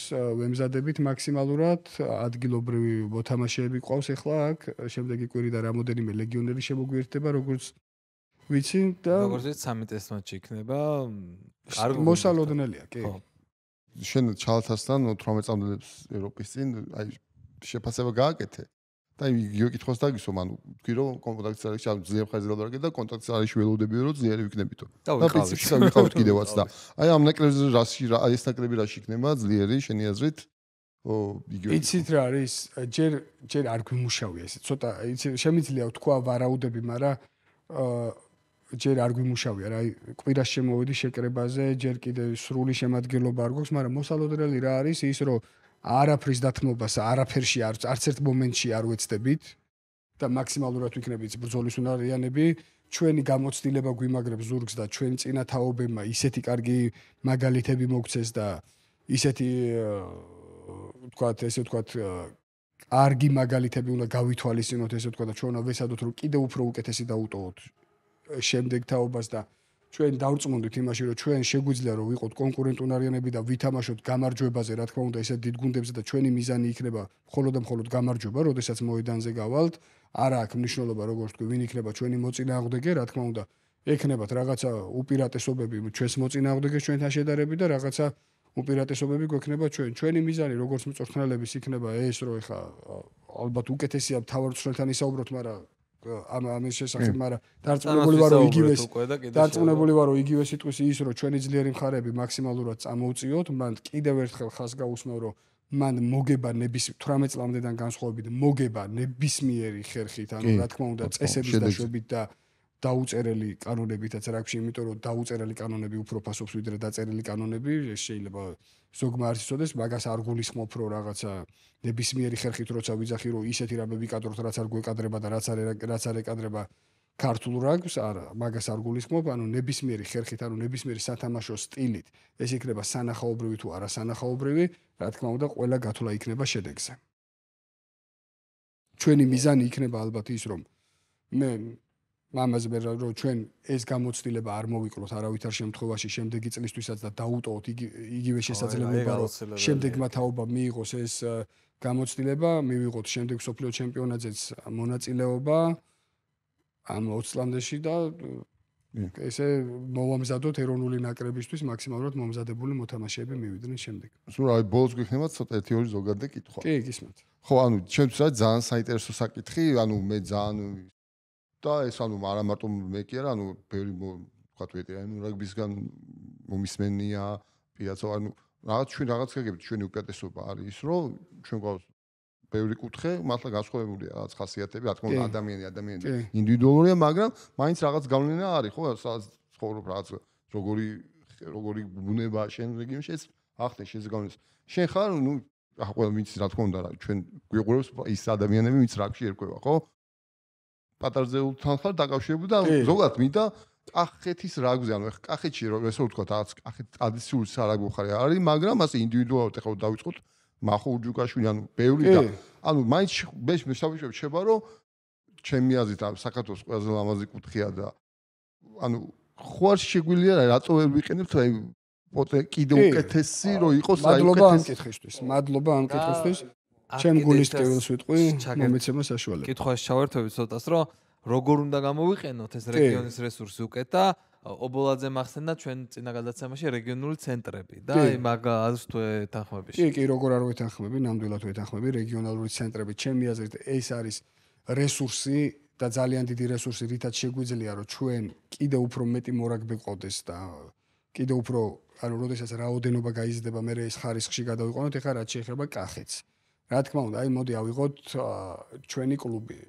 ერთმა ერთმა სოფლის გუნდმა მოახერხეთ ორჯერ დიდი ათში თამაში და ვერ ვერ შევინარჩუნეთ იქ ადგილი რა რიგი ფაქტორების გამო. ეხლა მოდი მოგიყვებით, მოდი მე ვისაუბრებ მაგ გუნდის მაგალითზე და გამიადვილდება, იმიტომ რომ სხვა კლუბი ვიცი რომ თელავში არის გადასარევი ბაზა, ინფრასტრუქტურა ძალიან და აჯმეიკა კარგად მუშაობს და კი და იმედი მოვიკითხოთ. კი. იმედია, იმედია, იმედია რომ იმედია რომ ეს მუშაობა შედეგს გამოიღებს და ნახავთ კახე კახურ კლუბს კიდევ დიდათში პროდის. იქნება ორიც ვნახოთ. კი, რა ვიცი. მე მაინც არ ვიცი, მე მაინც იმაზაზე ვარ, რომ კახეთ ჯერჯერობით იმის რესურსი არ აქვს, რომ ორი კლუბი იყოს და ჯობია რომ ახალგაზრდული რეგიონალური ბიჭი ეგეც კარგი იქნება. კი, კი, კი, რა თქმა უნდა, ეხლა ცოცხლამდეში არის სტატო ბურთიკაშვილი არის. კი. და დაუბრუნდები ხა, მოდი აი ამ ამ მაგალითზე ხა აი პატარძეული პირველ ლიგაში მონაწილეობს, ხო? ანუ ჩვენ ერთი რამე უნდა ვთქვა და ესე მიყვარს რა საუბარი მეც გულახდილად რა. ჩვენ ერთ ადგილს ვტკეპნით ძალიან დიდი ხანია რა. ერთი მიზეზის გამო. რო არ გვაქვს საკუთარი ინფრასტრუქტურა. წარმოიდგინეთ, გუნდი ვარჯიშობს თბილისში ნაკირავებ მოედანზე და ეხა მაგალიც მოვიყვან რა. გუნდები ღებულობენ. ჩვენი მიზანი რა არის? ჩვენი ეხა მე ამ მიუხედავთ იმისა, რომ ამ კლუბში სამწუხარო პროცესში უკვე ჩემი ჩართულობა არის ძალიან დაბალი და ვეღარ ვეღარ ვახერხებ იქ მისვლას მაქსიმალურად სანამ ეს კლუბი იარსებებს ყოველთვის ანუ მე ჩემად მოვიაზრებ და იქნება ჩემი და იმედი მაქვს რომ დიდხანს იარსებებს უფრო მეტხანს ვიდრე მე ვიარსებ. აა ჩვენი პრობლემა რა არის? ვარჯიშობთ ნაკირავ მოედანზე თბილისში არასტანდარტულ მოედანზე. ხარჯი ტრანსპორტის ხარჯი რო იქიდან ვატაროთ მოთამაშეები, მაგრამ მიუხედავად მაგისა, ჩვენი მთავარი მიზანი არის ის, რომ ადგილობრივი რესურსით მაქსიმალურად დავაბალანსოთ და ყავდეს 50% მაინც მანამ სანამ ვარჯიშობთ თბილისში. ჩვენ თუ მოგვეცემა იმის საშუალება და არის ამაზე საუბარი და ძალიან დიდი ხანია არის საუბარი და ველოდები როდის გადაიდგება ქმედითი ნაბიჯები, რომ ჩვენ საგარეჯოში კონდეს ბაზა, სადაც არის ანუ ქალაქი არის, სადაც არის საზოგადოებრივი ტრანსპორტი დამაკავშირებელი და უფრო დიდ მასშტაბებზე გავალთ ამ შემთხვევაში. მე ჩვენი მიზანი საერთოდ არ მინდა უმაღლეს ლიგაში ასვლა ჯერ რა და დიდად შეასვლა. ჩვენ სხვანაირად უყურებთ ამას. ჩვენ გვინდა რომ ადგილობრივი რესურსი მაქსიმალურად ავითვისოთ. ცნობისათვის ახლა კიდე ზვიად სუხიშვილი რა, რომელმაც მთელი თავის ცხოვრება მიუძღვნა მაგ კლუბს რა და არა მარტო ზვიადი სანდრო და უამრავი ადამიანი არის. იქ ვინც აი დაუღალავი შრომით ეხლა აგერ კიდევ ერთი ლოკაცია კაჭრეთში შევედით და ბევრი ბავშვი მოვიდა და ძალიან מחარებს რა. და ადგილობ უკვე ჩვენ დავიწყეთ რა შიდა კახეთის ფესტივალები დავიწყეთ ბავშვები ერთმანეთში თამაშობენ. ანუ კახეთში ხო იქით არის არ მინდა ვინმე გამომჩეს და ნაწყენი დამჩეს რა იქით არის სიღრაღისკენ არის მოკლედ ისიც ნახე რაღაც Facebook-ზე მე მგონი თორწდები სოსოპაცკანაშვილის გუნდა თელში ბავშვების პატე გოგოებიც ვარჯიშობენ საკურა საკურა ქვია თორწდები კი კი კი სოსოპაცკანაშვილი მუშაობს იქ თელავში კიდევ და უამრავი ადამიანი ხა ჩვენ ძალიან კაი სხვათა შორის ვებხებში აი არიან ადამიანები კლუბებში რომელიც არ ჩანს რა ჩვენ ყავს მაგალითად სოფო ბილანიშვილი არის კლუბში რომელიც ძალიან კაი სოცმედია გაქვთ ვებხებს აი აი მაგისი დამსახურება მაგიტო ვახსენებ ეხლა რა არიან ადამიანები რომლებიც არ ჩანს და ძალიან მაგარ სამუშაოს აკეთებს ძალიან ძალიან კი და მაქსიმალურად ვცდილობთ ანუ ჩვენ კლუბში რა გვაქვს ეხლა? ყავს ყავს ვიდეო გადამღები გვაქვს ვიდეო ანალიზი სხვა კლუბებმა რო წამოიყვანეს უცხოელები, ორი კარგი მწვრთნელი დავიმატეთ. თორნიკე კალანდარიშვილი და დიტო კიკნაძე, ჩვენი კლუბის მწვრთნელები არიან და დიდი მადლობა და ძალიან ნაყოფიერ მიუხედავთ იმისა, მე კიდევ ვიძახი, იმითი რომელ ადგილზე ხარ, არ განისაზღვრება როგორ მუშაობ. თავარი არის როგორ რესურსთან მუშაობ და რამდენად შეიძლება იმ რესურსიდან შენ მაქსიმალური და ოპტიმალური წამოიღო რა. რაღაცა პერიოდი გვაქვს ჩვენი დაბრკოლებები, იმიტომ რომ ხო გეუბნებით, არ გვაქვს საკუთარი მოედანი, თუნდაც დიდაჩი რო ვიყავით. აი როგორ შეიძლება მოთამაშეს მაგალითად მოდი ავიღოთ ისეთი მაგარი მოთამაშე გინდა წაიყვანო რომ თავისი გამოცდილება შეზინოს კლუბს. რომელსაც აქვს პოტენციალი დაუძახონ ან შავლომში ან ეროვნულ ნაკრებში ან შვიდკაცაში წაიყვანო პატარძეულის მოედანზე გადაუბრუნდეს კოჭი სადაც არის ისა და მაგის გამო გამოატოვინო შენ რაღაცა მნიშვნელოვანი მისი განვითარების ეტაპი. ან და დააკლდეს შენი ქვეყნის ნაკრებს ამაზე მე როგორ უნდა მოვისვენო? რომ მე უთხარი წამოდი და კი ტრამვისგან არ არის დაზღვევლენ. გჭირდება სათანადო ინფრასტრუქტურა, სადაც ბავშვები მოვლენ, რომ ივარჯიშებენ, ელემენტარულ შხაპის მიღებას შეძლებენ, რა და აი მე ნახეთ მასობრიობა. ამ ამ დროს რა რა გამოწვევები აქვს რა? ნახეთ ჩავდივართ, ღიას ქვის ჩავდივართ არა, ბოდიში, ჩემ თავზე არ ვიღებ, ზვიადი მწვრთნელები მუშაობენ. აა ღია ცისკოში მუშაობენ, წვიმა წამოვა ვარჯიში ცდება, იმიტომ რომ გასახდელი არა აქვს იქ სოფლებში არის ლოკაციებში შესული კი ადგილობრივ აა გამგებლებთან გამგეობასთან თუ იმას ახლა ვერ ვერკვევი რა მე კარგად. პოლიტიკაში პოლიტიკა არ არის ჩემი ძლიერი მხარე. კი მაქსიმალურად ცდილობი რომ რაღაცა ისეთი წერები გამონახონ მაგრამ არ არის ელემენტარული პირობები რა. და როგორ 2000 არა და რესურსი რესურსი არის ძალიან დიდი. მე ნიჭი არის. და ამ დროს ნახე კონკურენცია. ბაზარი ინფრასტრუქტურა ადგილი უკვე გამოყოფილი არის ადგილი არის უკვე გამოყოფილი მიდის მოლაპარაკებები და არ ვიცი რა ამისინებზე მე დაზვიადი ხუმრობდით რომ მან რო დავინახოთ ბაზის მშენებლობა სიხარულისგან გული არ გაგვიშხდეს და შეიძლება ვერც მოვესურთ. უკვე იმდენი ხანია რა ველოდებით რა. ეს კახეში საგარეჯო თელავის დერბიზი მაგარი იქნება, კაისელო. კი, ну, აი ჩვენ ჩვენი ჩვენი გამოწვევა რა არის რა. თანაბარ პირობებში ჩავდგეთ. მე მე რისის ურმე, მე არავიზე მეტი პირობები არ მინდა რა ჩვენ კლუბს. თანაბარ პირობებში ჩავდგეთ და მზად ვართ კონკურენციონარიანები ვიყოთ ნებისმიერ კლუბთან.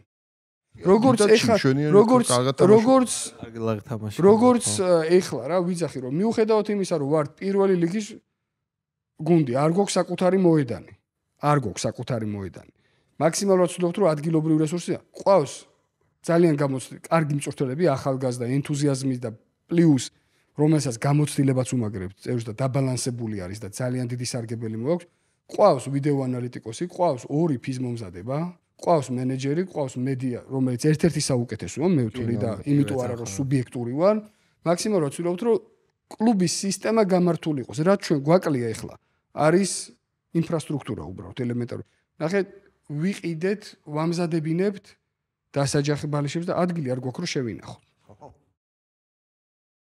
ანუ პატარძეულში იქ მოედანი კი ბავშვები რაღაცა ის ვარჯიშობენ, იქ რაღაცეებს კი ჩავკეტოთ, მაგრამ ჩვენ ხო გვინდა რომ დიდმა გუნდმაც გამოვიყენოთ ახლა იმ მარშრუტში ხო ვერ ჩაეტევა სავარჯიშო ინვენტარიც და მოთამაშეებიც, ხო და ძალიან დიდი ხა რაღაცა ისე გამოდის წუწუნი არ მჩოვია, მაგრამ რაც არის მაგას ვიძახი და რო დაუბრუნდე კახეთის თემას, კახეთში არის ძალიან დიდი რესურსი. კი, აუცილებლად. თელავი მუშაობს, თელავი მუშაობს, მაგრამ თელავს აქეთ არის კიდე ძალიან ბევრი ადგილი. ძალიან დიდი რესურსი, სადაც შეგვიძლია ჩვენ რომ იგივე მეც იმედი გადაიჭრება ეგ ერთი არა მეც მეც იმედი მაგრამ ჯერა რომ გამოსწორდება რა მეც იმედი მაგრამ შებერავთ ასე ვთქვა ბოლო. კი.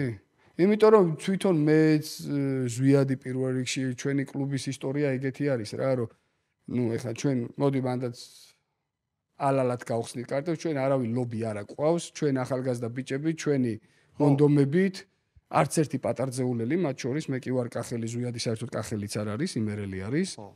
დავიწყეთ ესე ჩვენი ენთუზიაზმით გადაცემის საუბრობდით როგორ დავიწყეთ ახალგაზრდა ახალგაზრდებმა რაღაცა ისა და დღემდე მოგვაქვს რა და იმდენი რამე გვაქვს გადატანილი და განსაკუთრებით ზვიაც.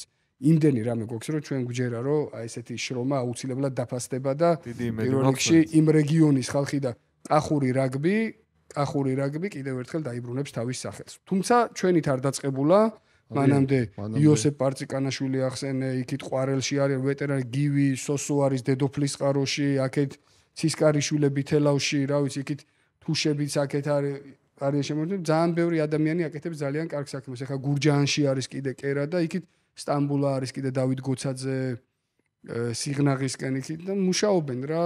ერთადერთი რას ეხა შეკრავს, გჭირდება ინფრასტრუქტურა. ზურა, შენ რაიც ისე არ დავ ისე რო არ დავრჩეთ მაინც მინდა, რა თქმა უნდა, ხა ჩვენი თავარი ის არის საკათოს ნაკრებ დიდებს გულისხმობ. კი. ხო, ან მაინც ყველა ჩვენი აზრები, ასე ვთქვათ, მაგას უტრიალებს.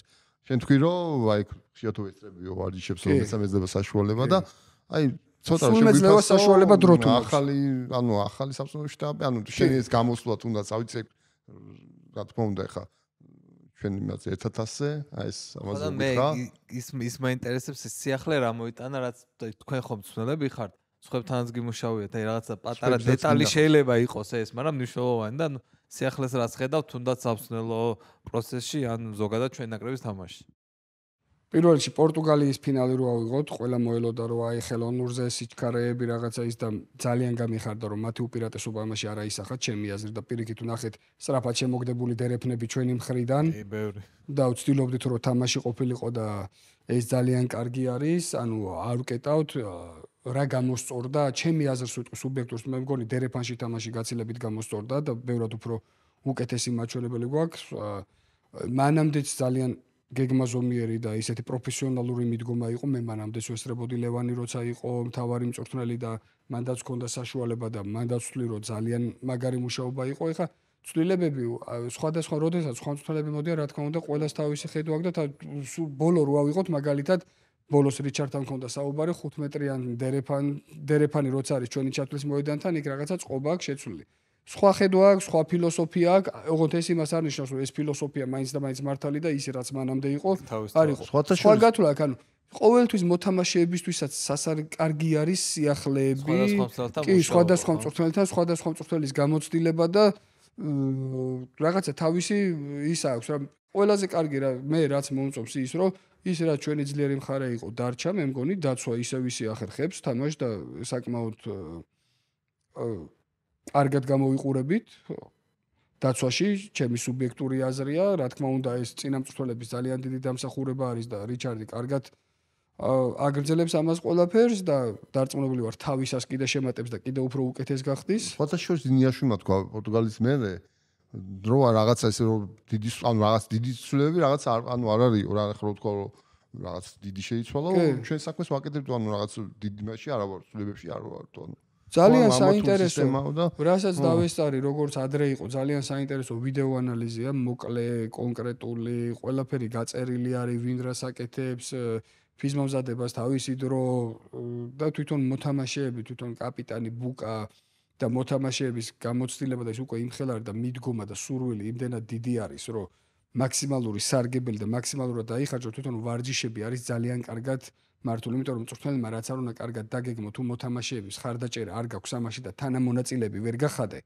ძალიან ძნელია რომ ისეთი ხარისხი მიიღო და ეს აი ეს ნამდვილად იგრძნობა რომ თვითონ კარგად არიან მოთამაშეების თანამონაწილეები და წვრთნელებიც და მოთამაშეებიც მაქსიმალურ სინდომებენ რომ ხარისხიანი ვარჯიშები მივიღოთ. დანარჩენს უნდა დაველოდოთ წინალეს რთული თამაშები.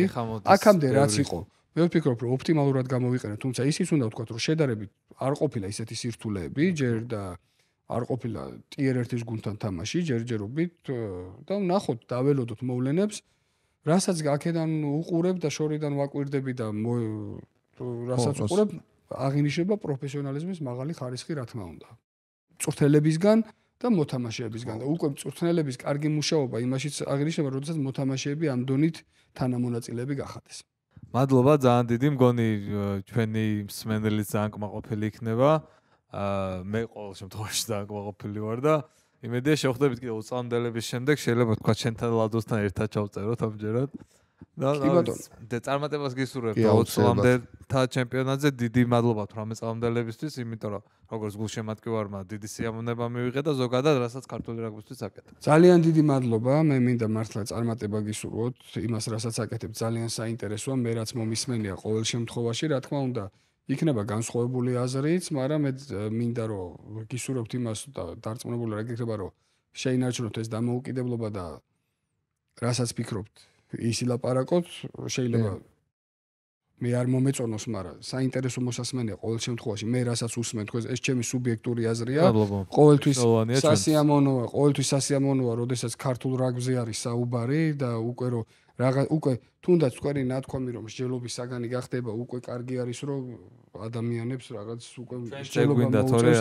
კი, ქართულ რაგბზე თავარი არის რომ ხახმა ილაპარაკოს თუნდაც ან რა თქმა უნდა ნორმალურ ფაქტებში აზრი გამოთქვა ეს თავარია რა არის ეს ჩართულობა როცა არის უკვე იზრდება და ესე იქნება ანუ ანუ სპორტი არ არის მარტო ის ის ბურთი დარბის სპორტი არის აუცილებელი თავარი არის ეს გარემო და მაყურებელი რომელიც მაყურებელი ჭირდება. და გულშემატკივარი დიდი მადლობა რომ მართლა მომეცა საშუალება რომ სპენელთან მაყურებელთან ვისაუბრო იმაზე. რაღაც ჩემი გულის ტკივილებიც გამოვთქვი თქვა ის რომ ხშირად იყო ხოლმე ის რომ აი ბევრი ლელოელი რაღაცა ის.